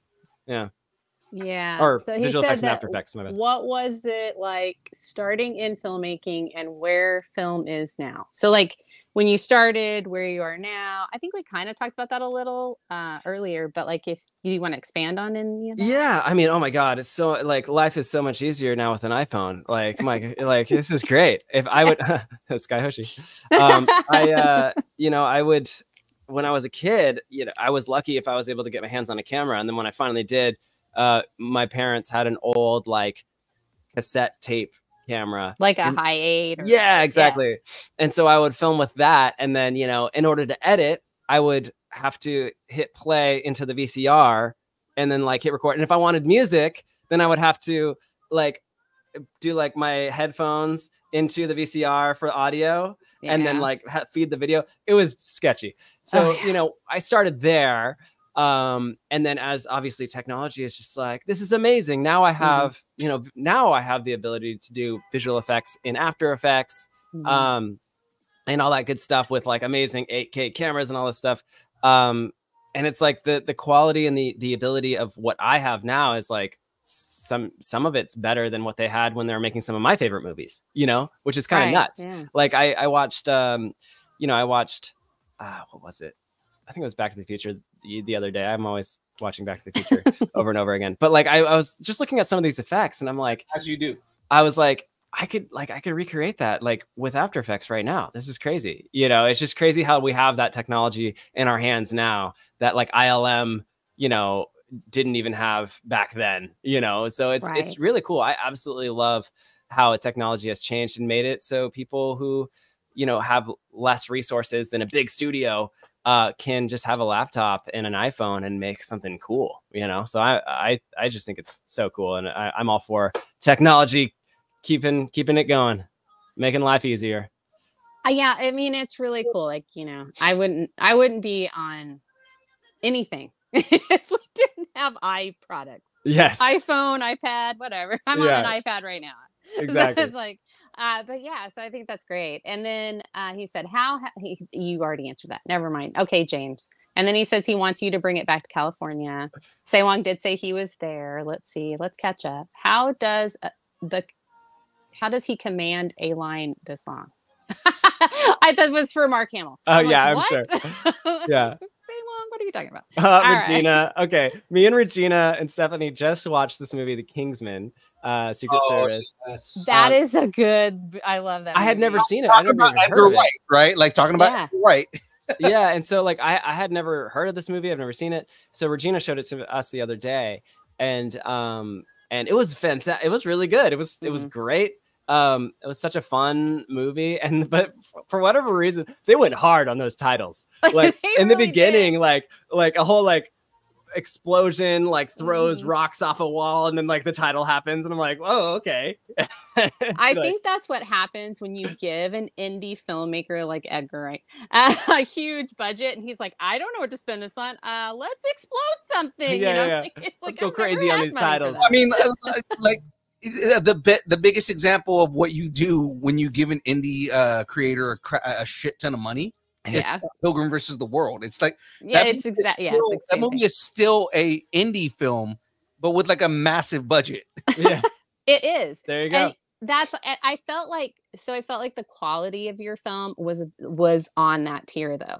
Like oh it man felt that's amazing it didn't I knew it was an indie film because Phil told me. And uh, and but then when I was watching I was like, man, these panning shots and the way that like the shot was actually you know composed and how you how you framed everything so it it it was like high quality i knew you had done some commercial work just by how you framed the the scene itself and like when you the cuts back and forth and how it was edited i was like yeah this guy knows what he's doing i like this you know and the, the love that. pink was totally at my alley i loved Yes. it you know i can't say that enough uh, so yeah but yeah i really honestly i think that that that it's good and i honestly believe like these kind of stories especially and like barbie hits so big that Mm. this is one of those that it's that same type of genre where it's it's just a person trying to figure out who the heck they are. Yeah. And it really is the basic and just putting all of the fun anime stuff into it. I thought was great. I mean it, it was something that i hadn't ever seen before you know and that was kind of like it, ha- it was reminiscent of other projects but it was its own thing as well. And it's hard to balance that. I thought you did a good job Ah, wait, thank you so much. I love that. That's amazing. i try to Love give to hear it. like actual opinion and not just be like yeah it was good because that doesn't good, help yeah. anyone You know, so- no, I love to hear it. You know, it's it's always amazing to hear like what people got from it or like, you Mhm. know, what their experience was. And so yeah, thank you. I Appreciate I, it. yeah, I, I like that, and I didn't know if we were supposed to know who the creator was or not, but I did Mm. like how you uh, kind of did him as almost like a, not like a, not like, not like an, and like a authoritarian person, but it had that like he was so tall, which Yeah. is also an anime staple. Like you have these characters that are talking and they're very like militaristic and stuff, and but they're huge and uh, you feel like they're like seventy five stories tall and stuff. Yeah. And yeah, you did that one with the the uh, color in the film behind him, like where you were projecting stuff behind him. Yeah. It looked really good. It made him seem almost otherworldly, almost creator like, like the creator Right. of all things. And so I liked that too, and how you did it with just lighting Mm. and um and him just being the the per- telling the story and then you would have like uh stuff behind him that you couldn't really see but it just made him look more like authoritarian and i just Right. liked that i thought that was cool while she's in this like inner part of herself and he's just way out there so it was a nice juxtaposition so that. Totally. No, that's cool. I'm glad you got that. Um, yeah, I really wanted to like show him and like like you're saying kind of like that big creator you know like because he's Mhm. he created sky hoshi you know and so she's seeing her creator for the first time but also it, the scene is not about who he is it's about how sky feels and Mhm. so and and her inner um you know like everything that she's going on inside of her at that time and so i was like i i'm gonna focus on sky's like emotional reactions to everything and less on who who is this guy and like showing you know all this stuff. And so i thought that was a really um anime way to serve that. Yeah but i also like that you, it wasn't just i'm gonna do anime version. It was I, they're humans. Mhm. And we have one character that was anime but she's learning to be human and so it was much more the human side of it and just kind of like her trying to figure out how to be human and i liked that i liked that a lot. I also liked with kira i liked that she was no i don't want you. Oh but somebody else wants you and i don't want you to have that either. And i Right. love that i because it it's I think so made me hate her because she she she played like the jealousy factor, but at the same time, like there's a lot of like deep down feelings, and that's Mhm. also why I like her, right? Uh, Like I, I, right I, I keep saying that I hate her, but I, I really did like the character. I thought she was really well written. Um, but I mean, like you know, I, I think a lot of it is she's also repressing a lot of her feelings, and that's yeah what's actually on her mind and her natural reactions to things is to make it seem like she doesn't care because it's a defense mechanism. Right. Yeah, and that's that's what I love about the Kira's character so much is that she is a very very complex character and um you know on the surface she just might seem grumpy, but when you really think about like you know her logic behind everything and like her actions it you know I like to think that like Kira cares mhm. almost too much you know like she really like cares about her friends um and so she's actually like kind of worried about adam at this point because Mhm. you know like who's this strange person in your house you know like now you're acting strange like um kira i mean adam was a very predictable guy until um kira is layered like an onion nice uh, you know, Kier, uh, Adam is a very predictable person who who was always like, you know, doing the same thing every single day. He's kind of stuck in his rut, and Sky, you know, turns his life upside down. And so Mhm. Y- that's good for Adam. But from Kira's point of view, she's like, uh, what's going on? Adam's not acting anywhere near the way he normally is. And so, you know, she's almost like worried for him and in her own Kira way. And her her motives are correct, but the way she acts is a little misguided. you know, so um right. or like, you know, Bassists are like onions yes, exactly. instead of ogres, right? Bassists are like onions. Or like- yeah. So I, I think um, you know, uh you, you'll find out in the sequel. This isn't a spoiler. This is just kind of like a fun thing. But um the origin story between Kira and Justin is one of my favorite origin stories because Justin was being bullied in the cafeteria in in uh in school when they were young. And Kira stood up for Justin and fought off the bullies. And ever since then, uh, Justin's been following Kira around um, and they've been good friends. and so, you know, Kira is a very caring person, and you get to find that out more. We're, we're working on a sequel right now. And uh, in the sequel, you get to hear a little bit more about her backstory, and that that makes its way in there. But I love the little Kira Justin like friendship. Yeah, the pizza scene was hilarious. I was like, Yeah. it was like, I dropped my pizza. Oh, I yeah. felt like that was kind of like, uh, what's the kid on The Simpsons that's like, I'm in danger? Was that Ralph? Oh yeah, Ralph. Yeah, yeah. Yeah. like I felt like Justin was kind of like Ralph I to like totally see that. Yeah. to like Kira's Lisa. Like, like, Yeah. oh gosh, you know, I was like, I can't get rid so of much him, you know, sense. Yeah, it was it was nice, but I did like it, and I thought it was. I thought it was cool. I, yeah, I just I liked Kira as the antagonist. I mean, she's not a bad person. She just, she's just, you know, she's got her own for- thing going on. on- Yeah. I All hope she's missing from my shirt. Yeah. I, I actually um so so kind of just going back like if if if it got to the point where you guys made an anime Mhm. like like even if it was just like the first season just to kind of get like more context to the world that uh that Sky is coming from and that Kira is now in right that Mhm. kind of thing like do you have an idea or a plan because it seems like you guys almost have an, a- bible for the anime there's yeah. a lot of references to the anime, and it's an anime that doesn't exist. It's not something that I can go and like, oh, I'm gonna go to Crunchyroll and go watch this right now. Like, you know, Right. um, you know, it's it's it, but but it very much seems like there is structure and story, and there are things there that everyone references and everybody in the world knows about. Mhm. So like, again, it seems like you guys have a Bible written for the anime. Right. Like, would you like? Do you have like a plan for like a, a hypothetical first season? Oh my gosh.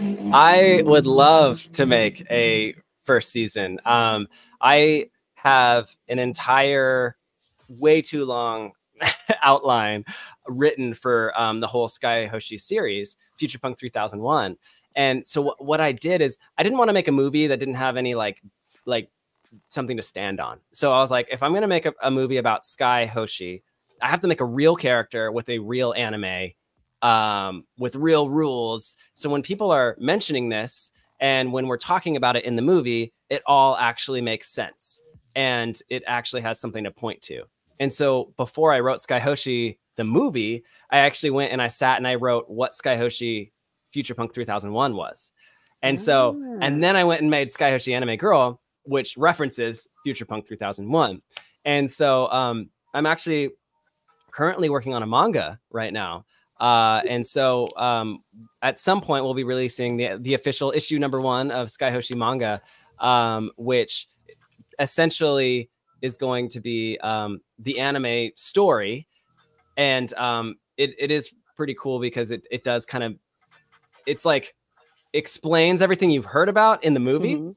Um, but it's like you actually get to read it now, which is cool. Oh, that's So, awesome. Yeah. So, So we'll um, get the star story. you'll get the star story. Oh, that is so awesome. Yeah. If you guys make any art for that, like with the star story, I would love it. And if you can make it in the style of Supergirl Woman of Tomorrow, that would be freaking fantastic. Oh, I need to. yes. Okay.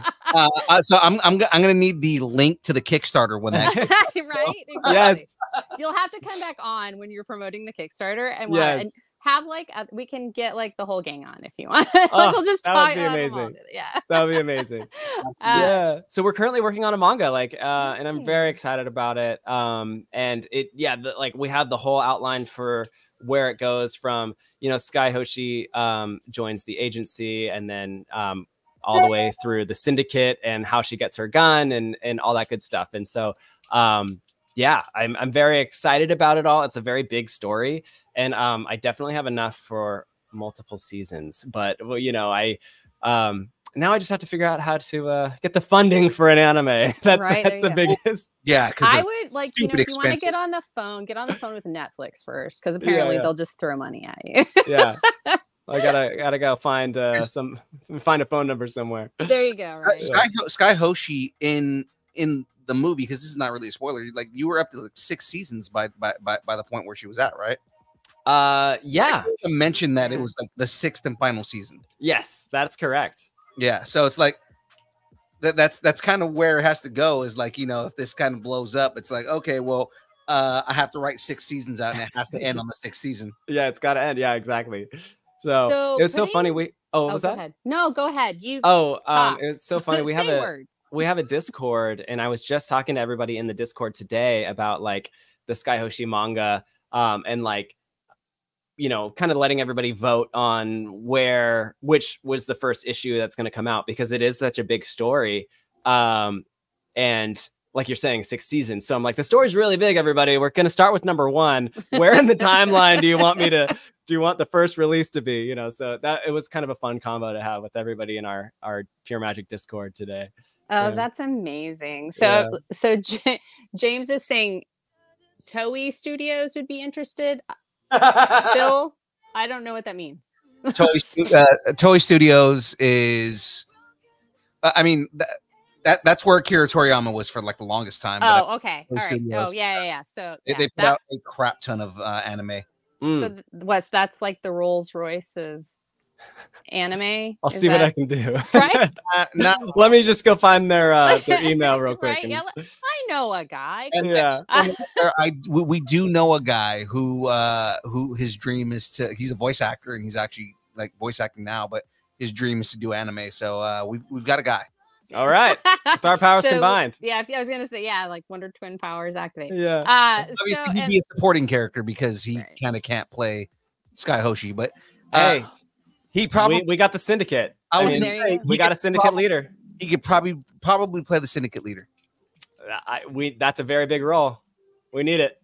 I I I would come on and say things like "Sky Hoshi go" and things like that if you wanted, but I think that's Perfect. about.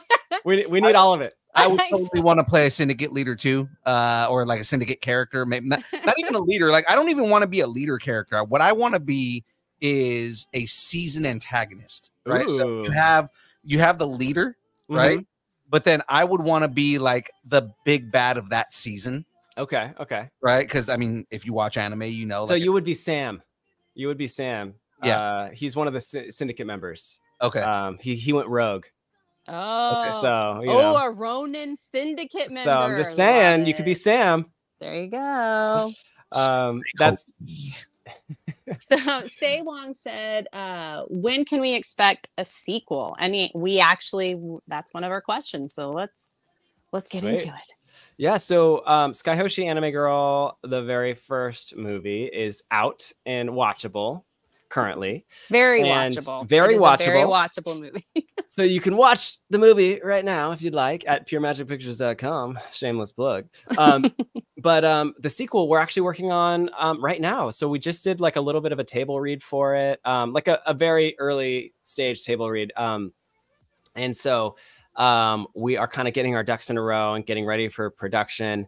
Um, and we're going to start filming sometime this year. So hopefully, sometime in the next few months, we'll be in production for Sky Hoshi 2, which takes place um, pretty much picking up where the first movie leaves off. So, like one year later.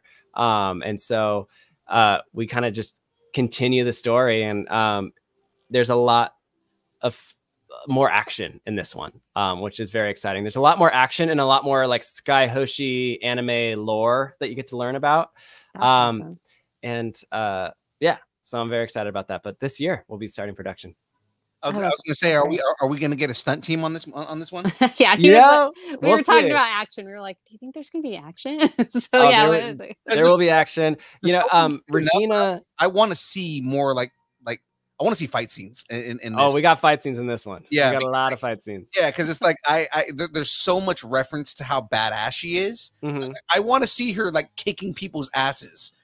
You know, and, and Yes. that's that's kind of in my mind where I was like, you know, uh like in my mind, and again, feel free to steal steal any ideas I'm putting out here right now, right? Because- but like my idea was okay, find and again, if I'm on the money, do not say anything because I don't want spoilers to go. out Okay, there, okay. right? no, no reaction. I'll say nothing. This Yeah. is no because this this has happened before. When we had a filmmaker on here, I suggested something, and then off mic, he was like, "So, did you read my script?" And then the second, and then the second movie came out, and it was like, "Shit, I did predict a lot of that." you like I predicted it. Yeah, yeah. um, and that was just all prediction. So, uh, but basically, my idea would would be like, okay, so the wish is what brought her to our world, Mhm. right?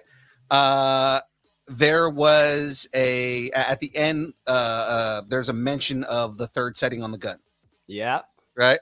Uh, Mhm. so The third setting. right so so the whole thing is like okay so what if the third setting uh, had to do with, especially, especially because it's a world that's very cyberpunk, but also has magic attached to it and things like that.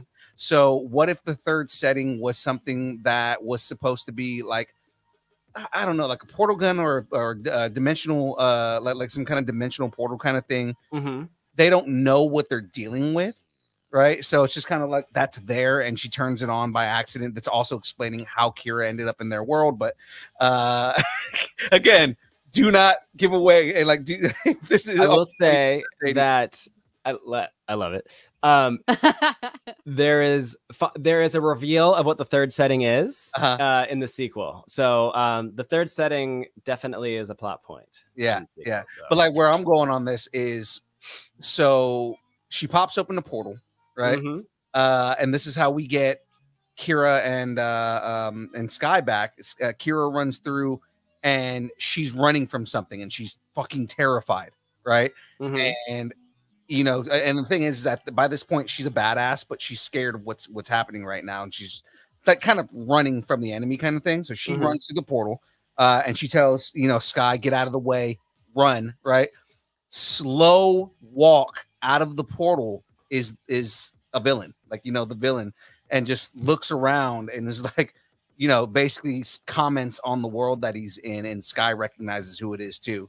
And basically Yes. the idea is, you know, now you have a clear cut anime antagonist walking in their world, and that's where you get these fight scenes and everything. So Hey, I mean, you gave me permission to use it. So one hundred percent, you. you see this happen in the sequel, you'll know what happened. I, I I do not mind it because when I go to watch it, it's like, yeah, I'm not getting credit for it, but at the same time, I I, I, I know it's my idea. So Love it.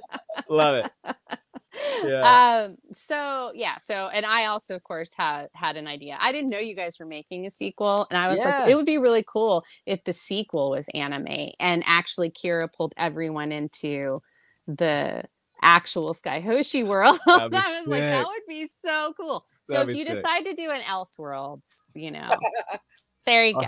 I'll see what I can do. I mean, I knew there was going to be a sequel because there's a post credit scene, and the post. Well, post. I know, but you know, for a sequel.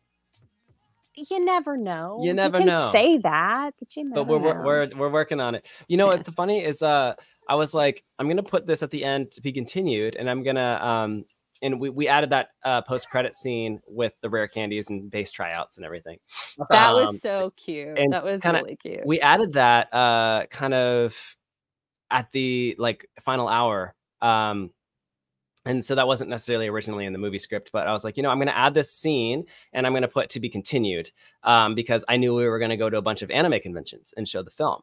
And so I added that and I was like, okay, um, let's see how people react. If they like the movie, we'll make a sequel. If, if, you know, if it's just kind of like, oh, okay, came and went, then okay, maybe, maybe there won't be a sequel. Um, so uh, we, we went uh, and our first convention was A-Kon in Texas. Uh, Oh, wow. huge convention That's um, a big one. yeah it was huge and so we showed the movie we had um i think over over 300 people in the theater watching it and it was like this on these huge screens and everything and everybody went in everybody was like screaming and clapping and cheering when it's when uh it it's started going into the you know kira's poster and like yeah. and then it said to be continued.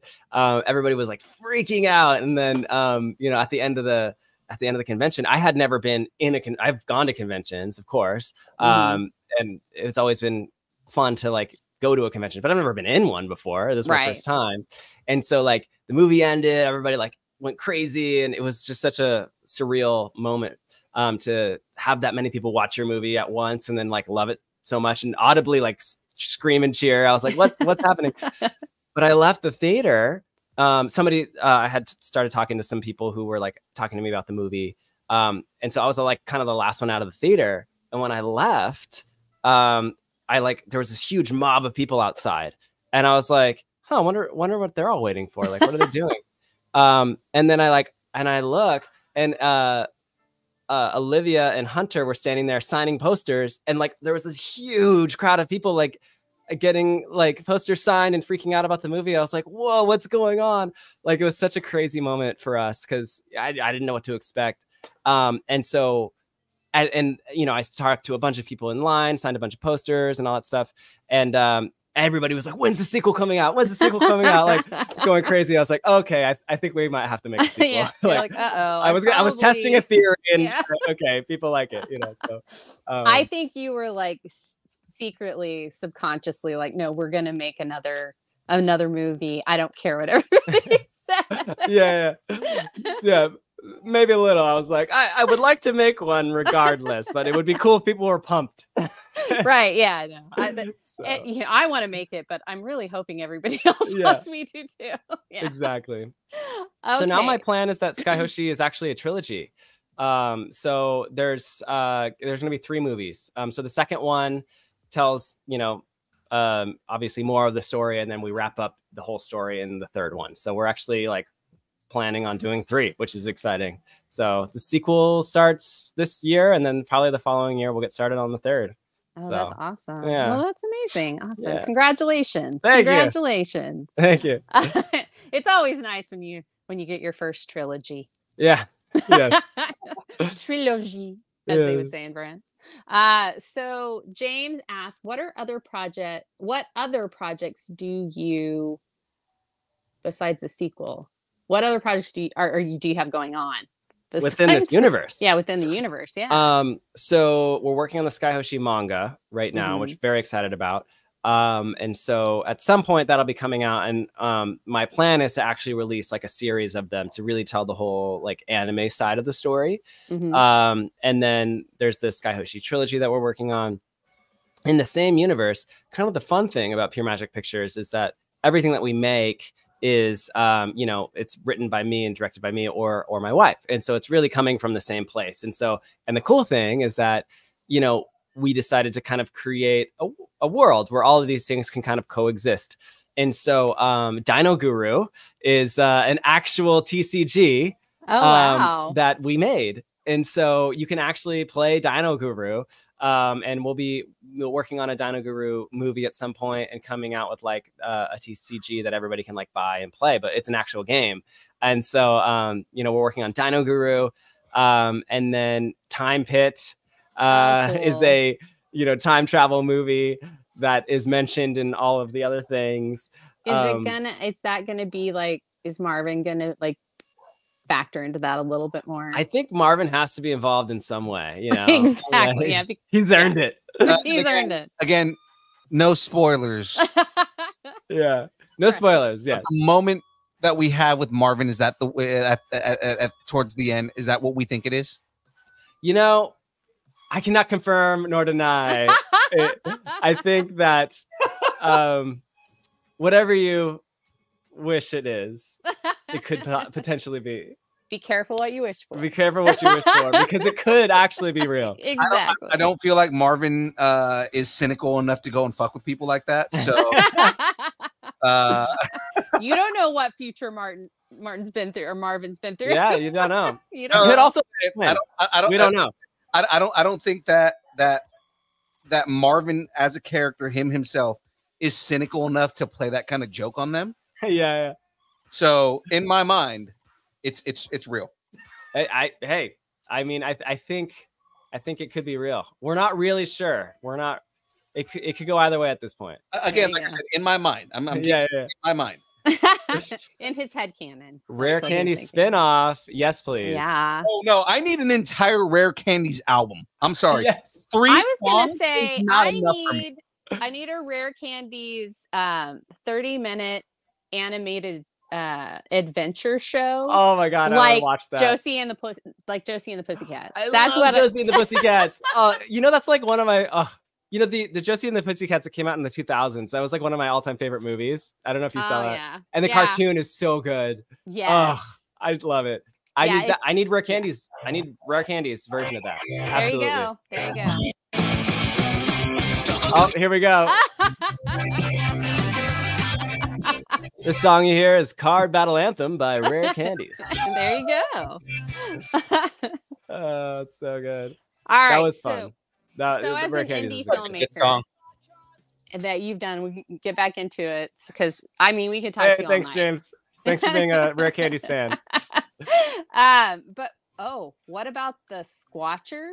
The Squatchers, yes. Is Um, that the same universe? same universe. Oh my gosh, I didn't even mention this. So, um, The Squatchers is a movie that is coming out uh, in the next like month or two. Oh, Um, it- it's about Bigfoot. Oh, that's Uh, awesome. It is my uh, best way to describe it is if the Goonies all uh, grew up and then went looking for Sasquatch. That's so that is that is the premise. Um, it's definitely. I, did. I did make Regina listen to Josie and the Pussycats. I forgot about that. We Hey, we we drove to Canada. Bangs. I'm sorry. It's got bangers on it. It does. yes. Uh, we drove to Canada and we were in the car for a very long time and we listened to a lot of things. And one of them was the Josie and the Pussycat soundtrack. I was like, I was like, all right, my turn. Pass the aux. We're gonna rock out to Josie and the Pussycats. That's awesome. Yeah. So, all right. So, because I mean, we could stay here all night and talk to you, but I'm sure you have other things to do. You're very busy. You're making movies. so he's also in New York and it's late as shit. So I mean, yes, absolutely. So we should probably we should probably wrap this up a little. Yes. So, what kind of advice would you give to like anybody who wants to be like an indie filmmaker, or like what kind of things do you feel that you um, really benefited from I would- that people might not know? Yeah, yeah. I would say like don't wait for an opportunity. Um, if you want to make a movie, take what you got in front of you and like make something. Um, and then show it to your friends and have fun and then make another thing. Um, and just continue to work on your own craft. And um, you know, I know like I was waiting around uh for a moment there in time and I was like, you know, I I, I knew a couple people and you know who make things and I was like, oh, they were like, oh hey, um maybe if you get send us a script, maybe we can know a guy who knows a guy who can get you a thing. And then you end up waiting for a long time. Mhm. And you don't it becomes more about waiting and less about making. Um, and so, you know, I I would say anybody who wants to start making a movie, um, whatever resources you got, like just start making stuff and have fun with it because you know it's art. And uh, I hate asking permission to make art. You know, um, we all have iPhones and Mhm. computers. We can make something cool. And so I've made so many silly things with my friends that um, you know we just have fun with. And uh, over the years, I've just gotten better and better at creating films and telling stories. But it, just just start start telling stories. You know, Just start. just start That's telling it. stories. There you Yep, go. There you go. Yeah. and le- I mean, I'm not going to go there. I watch a little bit too much uh, true crime. I was Oh. going to go to a place that we don't need to go to. All right. I'm in Yeah. that era. Uh, I'm in the nice. true crime era. That can that can also tell you things about me. All right, and so um, I guess if you could, okay, so I'm going to ask you. This is not on our script, but I'm going to ask you this because I like to ask weird questions. If if you could take charge of a mainstream IP, anyone you wanted, Ooh. what would you take charge of and what would be your fir- the first thing you'd want to do with it Oh, man, that is a great question. Okay, well, I wouldn't want to touch Star Wars, even though I love Star Wars. Um, I, I, I feel like I could probably write really good Star Wars like fan fiction, and I love it. but I would be too afraid to touch Star Wars. um, so I would, you know, I don't want to mess with that as much as I love Star Wars. Um, but uh, you know, mainstream. regina said love- josie and the pussycat reboot. I would. I think I would do a great Josie and the Pussycats reboot. oh yeah Um, I would. I would it do needs that. it. It needs one. It, it does. needs it one. does it does Yeah. it, it's Um, time It is It's time. Yeah. It just Um, needs somebody to do it justice in, in in a way where everybody loves it as much as the majority of us did growing up. So I mean, Yes. Yeah, I would do a Josie and the Pussycats reboot for sure. Um, so amazing I'm trying to think of a of a mainstream. I mean, honestly, like, I mean, Pokemon's great. I Mhm. but I I want to see like more live action Pokemon stuff. Um, I would love to do like a Pokemon movie, like a live action one would be so cool. Did you um, see detective pikachu I love Detective Pikachu. It's so good. that was so good i loved it too I feel like I feel like I I have what it takes. I know I know Pokemon well. Um, uh, I think I think I could I think I could do something fun with Pokemon if, if somebody gave me an opportunity. Is it because you want to be the very best? I, I just think I just want to be the very best, like no one ever Gotta was. catch 'em That's- all. Yeah, you know. I was gonna say, you know, I really feel like that's the key. Like that's the secret sauce is that you that if you know the subject that you're doing, like it- Mhm. you see, like, and I'm gonna I'm going to say James Gunn's name. I'm just gonna do it. It has been said. it has been said. Uh, but like he he knew the guard like he had read Guardians of the Galaxy comics Right. and he knew what he wanted to do with it. He had a clear vision and they let him do it Mhm. and so and i think that's part of it too is like we talk all the time on the show on, on the download how like if just freaking corporate would get out of creatives way Yeah, get so much better stuff and but then you also have some creatives that are like no i want to do everything and then you're like but you can't do everything you Right. can do this much you know so you do right, need right. somebody to do that a lot like phil and i need james to keep us on track so so now James has asked also, uh, Pure Magic had a podcast. Can you tell us how to podcast better? I don't know if that's a real. I don't know how to podcast James. better, but um, I do have a podcast. Uh, it's called uh, the Pure Magic Pictures Podcast. Um, very straightforward, Mhm. and um, we try to release an episode every Wednesday. Um, and uh, so yeah, if you want to know what's going on in the lives of me and Stephanie and all the Pure Magic Pictures gang, um, that's where you can find it. That's amazing. Is Yeah. that like is that on your like is that on a website? oh, it's uh, it's on all the platforms like you know Apple. Uh, oh, so anywhere you can listen to podcasts. Oh, okay, Yeah, yeah, yeah. awesome. Mo- All I th- yeah, Apple and Spotify for sure, and then I don't potentially all the other ones. I don't know. know. All right. Check it out on Apple and Spotify. I know it's there somewhere. yeah. Um, okay, so out of all the movies that we that have been made ever, Mm. uh, no, I'm just kidding. So, what do you think the worst movie sequel would be? Oh, the worst movie sequel would be. Yeah, not the best. We're talking like The, the preface to this though is what is a movie sequel that should never be made? Is that whole thing? Is it like if Mm. if a studio made a movie sequel and they and it was to uh, like any movie, like what movie would you just cringe at and just be like, what the what the fuck? Well, I mean, I think that the Star Wars Holiday Special is cringy enough. I don't think the Star Wars Holiday Special needs a sequel. does it Um, need an Easter special? I don't think we need an Easter special. Um, you know, I would watch it. I would watch it so fast if there was one, but I don't think we need one.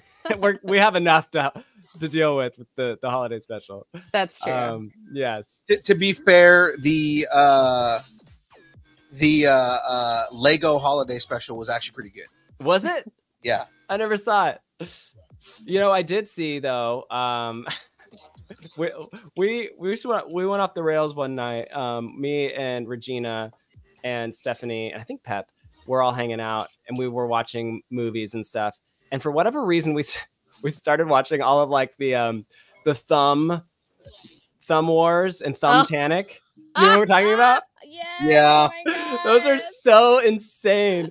We were like watch Thumb Wars and Thumb Tanic and like oh and what were the other ones? Like um I can't even remember, but like we there was like this giant compilation where we were like watching all of them. It was just like I couldn't oh Bat Thumb. Yeah. Bat thumb. Oh we couldn't gosh, look away. Bat thumb. Oh Yeah. my gosh. Uh, They're just so insane. Like I, I couldn't stop. I couldn't stop watching them. I don't know what's happening. yeah. Awesome. Thumb Batman. Yeah. James said Schindler's List too. Yeah. I don't, that would, yeah, that probably wouldn't work out. yeah. Yeah. Uh, so, Well, we, Now, we- have you seen Journey into the or Journey to the West? no. Oh my gosh, you need to watch the movie. It's Okay. it's um based on um I want to say Chinese like It- fairy so tales. it is Mm. Chinese lore. Uh, yeah. Typically, it's about uh, the monkey god. or the monkey and Oh, Buddha. okay. It's really it's the story of Buddha. But Okay. like there's all these other little stories in there with it to build up to it. And he has to fight all these people. It's just really neat. And it's really like it's an off kilter. I I always think of it as an indie film, even though Oh, I nice. don't think it was. But it, it's really neat. It's just fun. They're funny, but it's a lot of action. It doesn't take itself too seriously, but sometimes it does. And it, it's just that kind of thing. It's very it's like that. So if you if you guys have another movie night, put that in there because All right. it is a good movie. it, it, it took a long time for somebody to make that movie, but like Goku is based on the Monkey King. yeah. Right. Mhm. Okay. So he's Yeah, based yeah. on the And the guy who plays the Monkey King in that is really good. It's it he does a really good job. So they all do. It's a really it's a good movie. I think I've seen it like seven or eight times. Oh wow. My husband loves it. He's like he he's the one that I, I watch it with first, and then every now and then, like every six months, we have to watch it. So it's like Yes. you know, one of our things. So oh yeah, Kung good Pao two or Monty Python. You know, 2. Kung Damn. Pao. I'm disappointed that there's not a Kung Pow 2, specifically because they advertise it in the first one. Yeah, they were making a sequel, man. I wanted that so bad. She's like, "We'll meet many more times in the sequel," and there's like never a sequel. I'm like, ah, Well, I guess I guess he was making a sequel for it, but um he lost the rights to the movie that he was uh uh superimposing it on.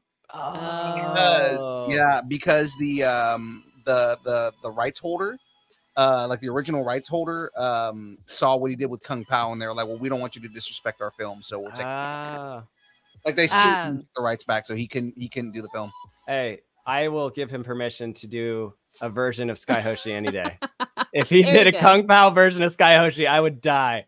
I uh, love Kung Pow so much. Oh, Uh, Would but like, you have if to you do it at his age now because he's Yes. not obviously not Abs- ripped as he is as he was back then. yeah. And it's like you think about it, right? Like if he goes, if he were to go and make that film, right, he Yeah. would be like you know the fat version of himself that he is in uh in Better Call Saul, Yeah. you know, but like as a kung fu master, right? Uh, and and Uh. one hundred percent the main villain of Sky Hoshi at that point would Hey, be um That'd be amazing. would be Betty. it would be Betty one hundred percent. Betty. yeah. Uh, let me know if you see a Radio Shack. oh my god, I could quote that movie all day. I love it so much. okay, Taco Bell. so Taco Bell product, Product placement by Taco Bell. Yeah. and chorizo nacho Nacho burrito. burrito. Yeah. okay, Phil. We're children. We're children. I'm I I'm Okay, now I'm I'll like stop. trying to channel some James now. Chosen. Literally. Children. I'm coming. As you can see, Chosen Phil doesn't he doesn't he doesn't care. Uh, do you want to ask the 10 hour flight question? Absolutely do. All right. So if you were on a 10 hour flight, Mm. who would you want to sit next to? Um, now, this question and, and why? Uh, this question, anyone, it, it, it, it, it refers to anybody. So, dead or alive, if you had 10 hours to sit and have a conversation with anybody that ever existed, who would it be? Can't be your wife. Okay. She's I the think- only one it cannot be. It All has to right, be all right. somebody else. We've had somebody Um, do that. So it's like, You're like, all right, no. Um, I would definitely. I would easy one would be Steven Spielberg for me. Um, I just like if I would love to just like talk to him about everything and be like, so tell me everything about Jaws. okay, now now that you've told me everything about Jaws, now tell me everything about ET. All right, thanks. Okay, now tell me everything about Jurassic Park. I'd be like, okay. what about batteries not included? I think, oh my God, yes, so good. I think like that would be the greatest flight of my life and the worst flight of his life. Is what that would be. Yeah. hey, you know that's hey. We never said it would be the best flight. We just said who would you like to sit? Yes. I would love that. I don't think he would so much, but hey, I'll take it. Hey, he hasn't been on here for us to interview him, so you don't know. He might. He might be like, He "You know, might, I you really know? like that Kalani kid. Yeah. He might, you know, maybe in all of his research, maybe he stumbled upon Sky Hoshi and watched it. I, there's no way to know. You don't. He no could have one been at a fan expo and watched it. It's a I don't know. mystery wrapped in an enigma. that- that's actually a possibility from what I hear with with Spielberg. I- yeah, he ju- does a a I'm lot of stuff like that. He he's really he's this he's a film assa not assassin. He's a film ninja. Like he ninjas in and sees Yeah. things and then ninjas out. So I'm just saying. I don't know how he can do it at his age, but he does it. I'm just saying. I mean, Christopher Lloyd could have seen uh, Sky Hoshi. He was right there. Mhm. Yep. Christopher Lloyd could have told Steven. Yeah, there you go. Yeah. Or Michael J. Fox was there Yeah. too. I'm just there you go. There you go. They might have all seen it together. I love this film. Yeah. this Scott, film this has film's changed amazing. My life. Come here, Marty. yeah. All right. So, most important question we're going to ask you in the whole thing. What are you nerding out on right now? Oh yes, those Legos is what I'm nerding out on. Those are amazing. Wait, who is which one? Who are those people? It's uh, Doc. yeah, Doc, Doc and Marty. Yeah. Oh, Doc and Marty. I thought you were like showing us some of the friends from the friends apartment. It's so good. Show what am us I? that. Oh yeah, yeah. Uh, I'll You're show you building the friends apartment. Show us. finished up the bag. Oh, okay. Uh, so I have one more bag left, so it's gonna go into next week. But as of Oh, right okay. now, uh, we've got the girls' apartment so far. Nice, nice. Let me uh, let me go let me go big screen for a second here, just so we can see it. But Oh, yeah, it's cool. done. Very nice. I just finished the kitchen, Mhm. and then we have the uh, the lanai kind of Yeah. escape thing right there. We got their closet. Uh, of course, entertainment center with the uh, poster in the back and their two rooms. Uh, now, outside of that, they also, you know, their little, little living room scene right here where that sits in it sits in here. So you pop that in there, Oh, that's so cool. right? It's like its very own sunken sunken living room. Right, and then um, yeah, Phoebe. Phoebe. Okay, I could. I, I can't see her, but I know she has blonde hair, and I'm It's- pretty sure she's the only blonde. It's the it's it's the ring light. Hold on, let me turn that off. All right, Okay.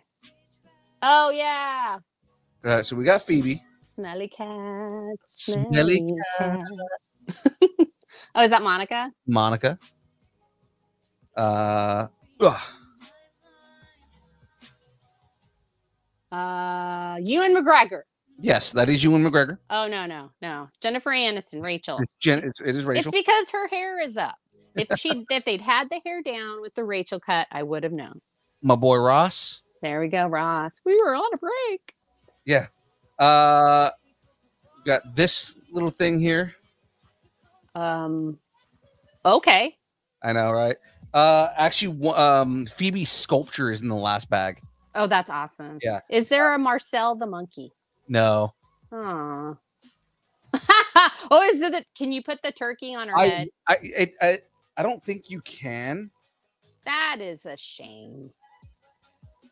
That is an iconic. No, you can't put it on the head. man. Yeah, and there's like no space. What they should have did is put like the hole on the bottom right there, so you could stick it on top of the head. yeah, that'd Yeah, that would have been awesome. Oh well. Oh well, Lego has disappointed me yet again. No, I'm just kidding. I'm kidding. It was Darn you, great. Legos. One thing. No, that's awesome. Back just to show everybody who hasn't seen it before, but that's the hallway. So between the two apartments, right, with a spoon with some ice cream. I know, right? All the Easter eggs. Uh, Is there a trifle? Wow. the Wow. boys' You know, if that was like, I think that like that's the only thing that they could afford, not the actual apartment size, but the Lego apartment in New York. It- So, it- it- you- somebody did like the math and said like if you look at their jobs, yeah. you know, compare in comparison to like the apartments that they had, there's no way that they could have afforded it even back then. right? they would have all been dead. But anyway, well, that's awesome. That looks Yeah. so cool. I can't wait for the Big Bang Theory version. So, Oh my god! If they come out with this in theory, I'm buying that like instantly. Oh, and then of Uh, course they have the ca- the canoe. yeah, the canoe. You got to have the canoe. great. Um. All right, so we're gonna do some wrap up questions. So let's get let's get uh, Kalani back up there. Absolutely, Kalani. I've got the hardest questions you are ever going to be asked. All right. I'm prepped. your I'm primed. And then I've got one last question that that you're actually getting a sneak peek for because we're gonna do it at Gem State. But I thought I'd ask you that question as well. Oh, okay, okay. I'm I'm ready. Oh yes, yes. The question that she has. All right, let me switch Hit my me. here real quick. Uh. All right, I'm back on. You guys can see my face again. So there we Beautiful. go. Gorgeous. Gorgeous. I'm gorgeous, darling. You're gorgeous. yes, yes. I feel. I feel so great. You're um, so silly. Stop it. I know, right? Uh, so, what is your favorite kind of taco? Favorite kind of taco? Uh, yeah, I like me a good chicken taco. You know, there's a there's a taco truck just in front of my apartment here. They make really good chicken tacos. You know, Do you like the shredded or like the chunks? uh, the ones I get here it has like the little chunks. It's not, Oh, shredded, yeah, but I uh, see, yeah, the like that shredded's too. good too. You know, the birria tacos are insane too, though. hmm Those are really good. Those are. it's really a tie. I like It's a tie. Uh, well, the birria tacos actually because when you can dip it, you know, Mhm. game changer. I changed my answer to that one. That's my the birria tacos. That's Um, awesome. so, uh, follow up question because you're talking about birria. Have you ever had traditional birria before? I believe so. Okay. Um, if you know the difference between birria that you get at a store and like at a Uh-huh. restaurant and traditional birrias, right? yeah. Uh, well, maybe. What what is what is traditional? Traditional birria is goat. It's goat. Yes, I've had the goat. Yes. Typically, typically for for for Latinos, like you usually won't find that in most restaurants. Mhm. Uh, usually, if you go to a wedding or a quinceañera, they'll okay. usually have traditional birria. Mhm. Oh, see, I worked on a food show called View and Chew, and we went um, all over the place. And so we ended up at a taco truck in LA, and they did like traditional birria tacos. And so we, I had the goat. I had the goat one. It was really good. and it was the goat, right? It was Yeah. the goat. Totally the goat. Yes. That's awesome. That that's, is that's so pretty great. cool. That's pretty cool that that you've actually. There's not very many people that I that, that we talk to that have actually had it. So Yeah, uh, it was a fun taco truck because they had like all different kinds. So there was like a beef one, a goat one, and I believe there was like there's a third option. I can't even remember, but I had the beef and the goat, and it was it was great. nice, nice. Yeah. I've always wanted to try like duck in in Oh, like a taco. Like that would be but duck is so hard. It's like it it it only stays like super moist and ready like for Mm. like that long. Yeah, have to that would be really interesting. careful. So yeah, that would have to be like fresh off a flat top. So, Mm. yeah, yeah. uh, any additional advice that you might have for anybody trying to get into this industry?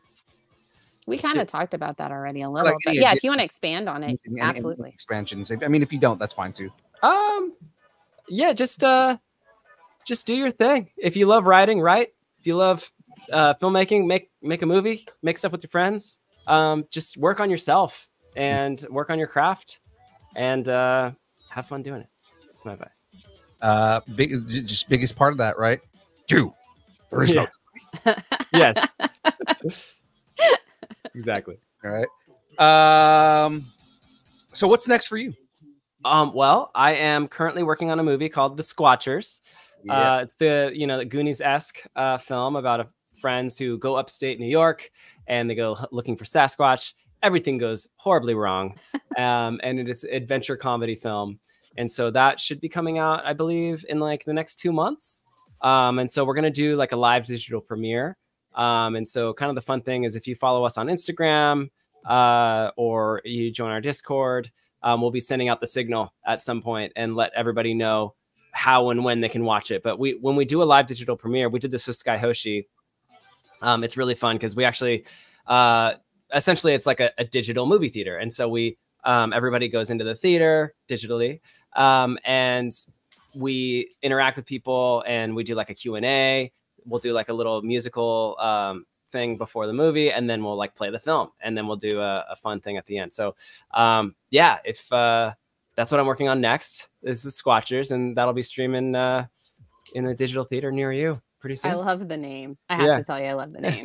yeah, it's a fun one. the Harry Adventure. Is, That- it, awesome. is it a horror film? No, no, it's an adventure comedy. Adventure comedy? Okay. Uh, the reason I ask is because then Graveyard can have you on uh, conversations in the book. Oh, nice. He- Uh, he's our he's our horror nerd. He, he knows all things horror. Awesome. right. Uh, so another hard question for you here. It may not be hard for you, but it's a hard question when we throw it out there for everyone else, right? All right. Who wins in a fight? Sky Hoshi Mm. or Lucy from Cyberpunk Edgerunners? Oh, uh, Sky Hoshi, hands down. She's a badass. She can, she, uh, you know, she can defeat the syndicate. She can do it all. Mm-hmm. I, I'm with. She's it. got the I pink laser gun. yeah. And and So- and that that makes me want to watch more Sky Hoshi, even I'm more, just saying.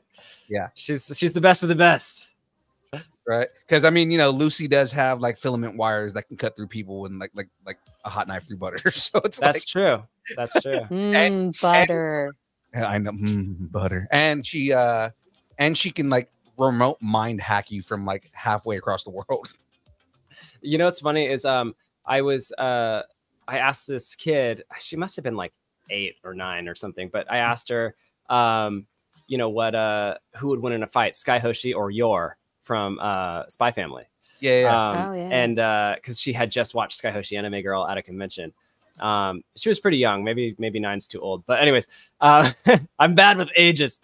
Um, but uh, she she was like she was thinking about it. She's like, ah, I think Yor would win. I was like, what? Why? And I was like, what the heck? And she was like, well, because Sky, she like we've only seen her stun people. And so Sky doesn't actually like like to kill people, but Yor, she's an assassin. She like w- gave me this really long thing. I was like, wow. all right, fine. Yor would probably, yeah, okay. Sky's too nice. I get it.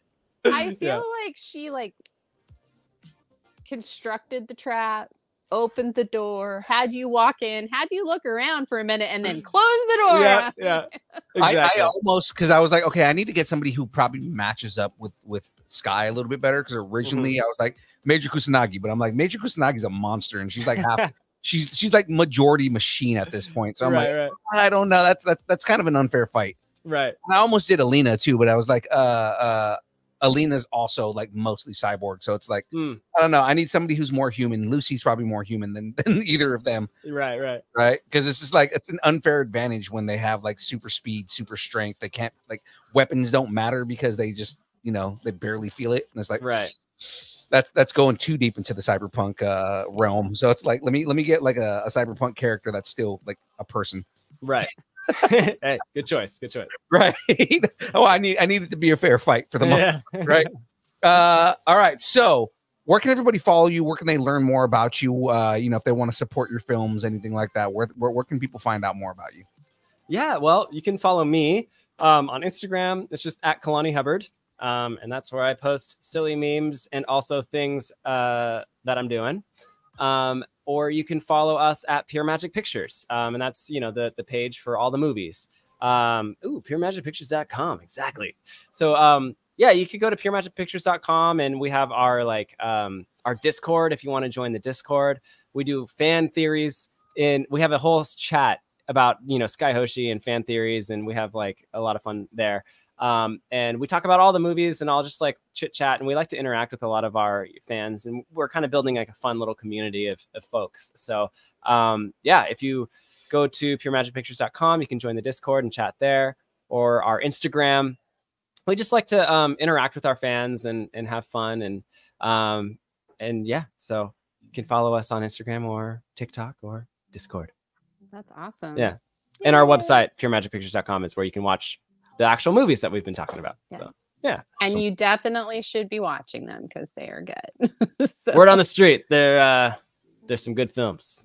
word in this house, and I have two corgis and a mutt. So and they are all Corgi they're gonna approved. spread the word. Corgi have- approved. It There is you go. Corgi approved. All right. Well, uh, We have I have my my question, and then oh, that's right. That's right. That's right. he forgets. Yeah.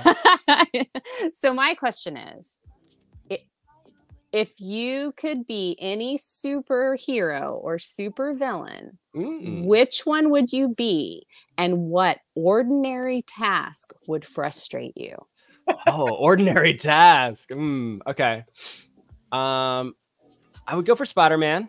okay I love me some Spider Man. You know, I just love Peter Parker. Uh, you know, I just want to web sling through the city. It's just like there there would be nothing cooler than that. Um, so you know, I would definitely do that. And then an ordinary task, um, you know, what what would what would be hard for Spider Man? Uh, relationships don't go so well for him, but that's true relationships don't.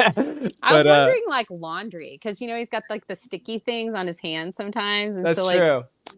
yeah, maybe just good old laundry. You Yeah. know. So yeah, uh, it, the the thing that reminded me of it was Spy- uh, Superman and uh, when like the Christopher Reeve Superman and he had to shave uh, Oh. with, with his eyes because like and I was like, man, that's got to be frustrating for him because he can't use razors. Like, how long did it take him to figure that? Out? Oh, that's out, you know? hilarious. So I was like, what other would be frustrating? I was going to say for Spider-Man, what ordinary task? Um, interacting with human beings without having social anxiety. yeah, Yeah. that's true. He you does go. have major social Poor guy. Anxiety. I just watched Spider-Man 2 recently, and he cannot catch a break in that film, man. No, he can't. Yeah. That's Peter in the comics. Uh, he he he's quiet, reserved, doesn't like people, and then when he's in the mask, then he's a little bit more like, you know, quippy and funny and jumping up because he gets a little more of his personality, but it's also because he's behind a mask and nobody knows it's him. So right, right. Yeah. So that's awesome. Well, Yes. yeah, that's all we have. I mean, we we really kept you, but we had a lot. So. Hey, I had a lot of fun. This is good for me. I enjoyed it. Uh, enjoy hanging with you guys. good, well, good. that's awesome. Thank you so much. Absolutely. I, we we we enjoyed you being on right here. Um before we uh we do our little thing because we uh we didn't warn you about the dance party, but we're gonna do that here in a moment. Okay. Uh So just whatever you have handy. Whatever if I you got. have the pink, you know, uh, Sky Hoshi gun handy. I mean, I'm not saying I want to see it. I wanna it. stickers, toys, activities, whatever you Anything. have around you, just make it dance on screen when you hear All the- I'll see what Creepy I can do. babies that God, Phil loves. Uh yeah, you're a creepy baby. Uh before we do that, Frey, uh give us your pluggables, anything you want to plug out there. Where where can people find you outside of this the distance nerding sphere? Gosh, I feel like I've done this so much lately. This week, yes. This is All our right, third you can- week? That's right. I, I feel like I, I think my husband's trying to get jealous. All right.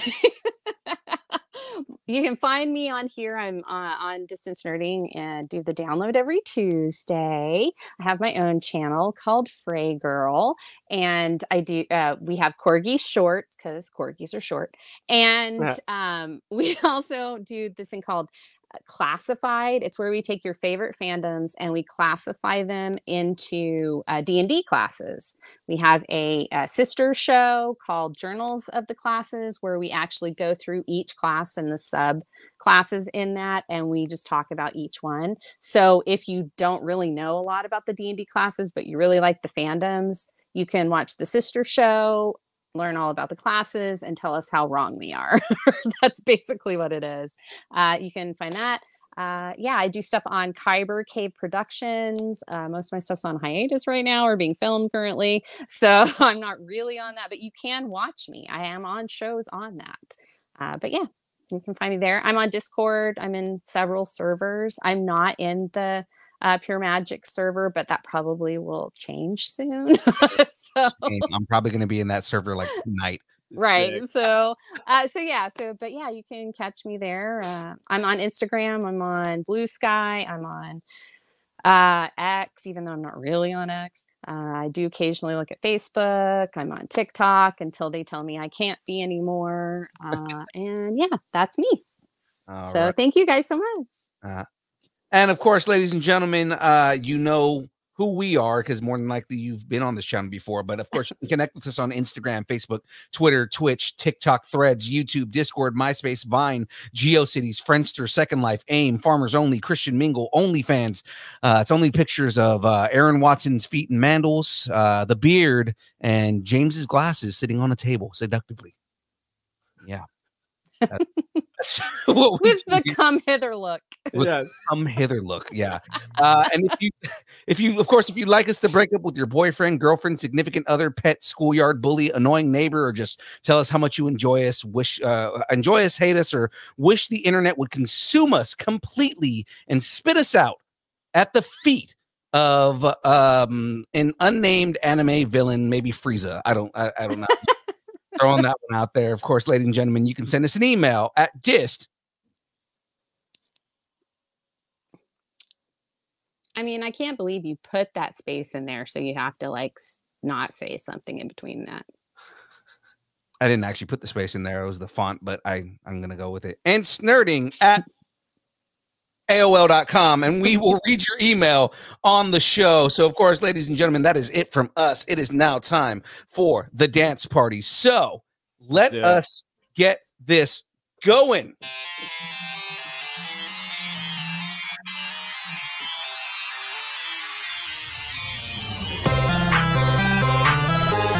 It's Wonder Woman who had too much uh, salt. Yar! Me be pulling in the pirate, touching the booty. Distance nerding. Yeah! Oh my god! Yeah. No! Fucking holographic Charizard? Yes.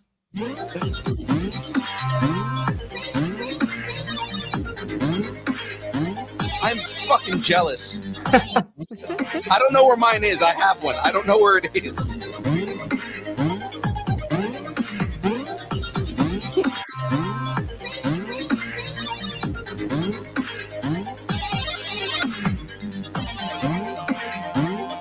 I'm here to kill Spider Man. Is that Carnage? Yes. Wait, oh, wait, where is oh, she? yes. Is? There she Oh, is. Yes. Yeah! The woman the hour.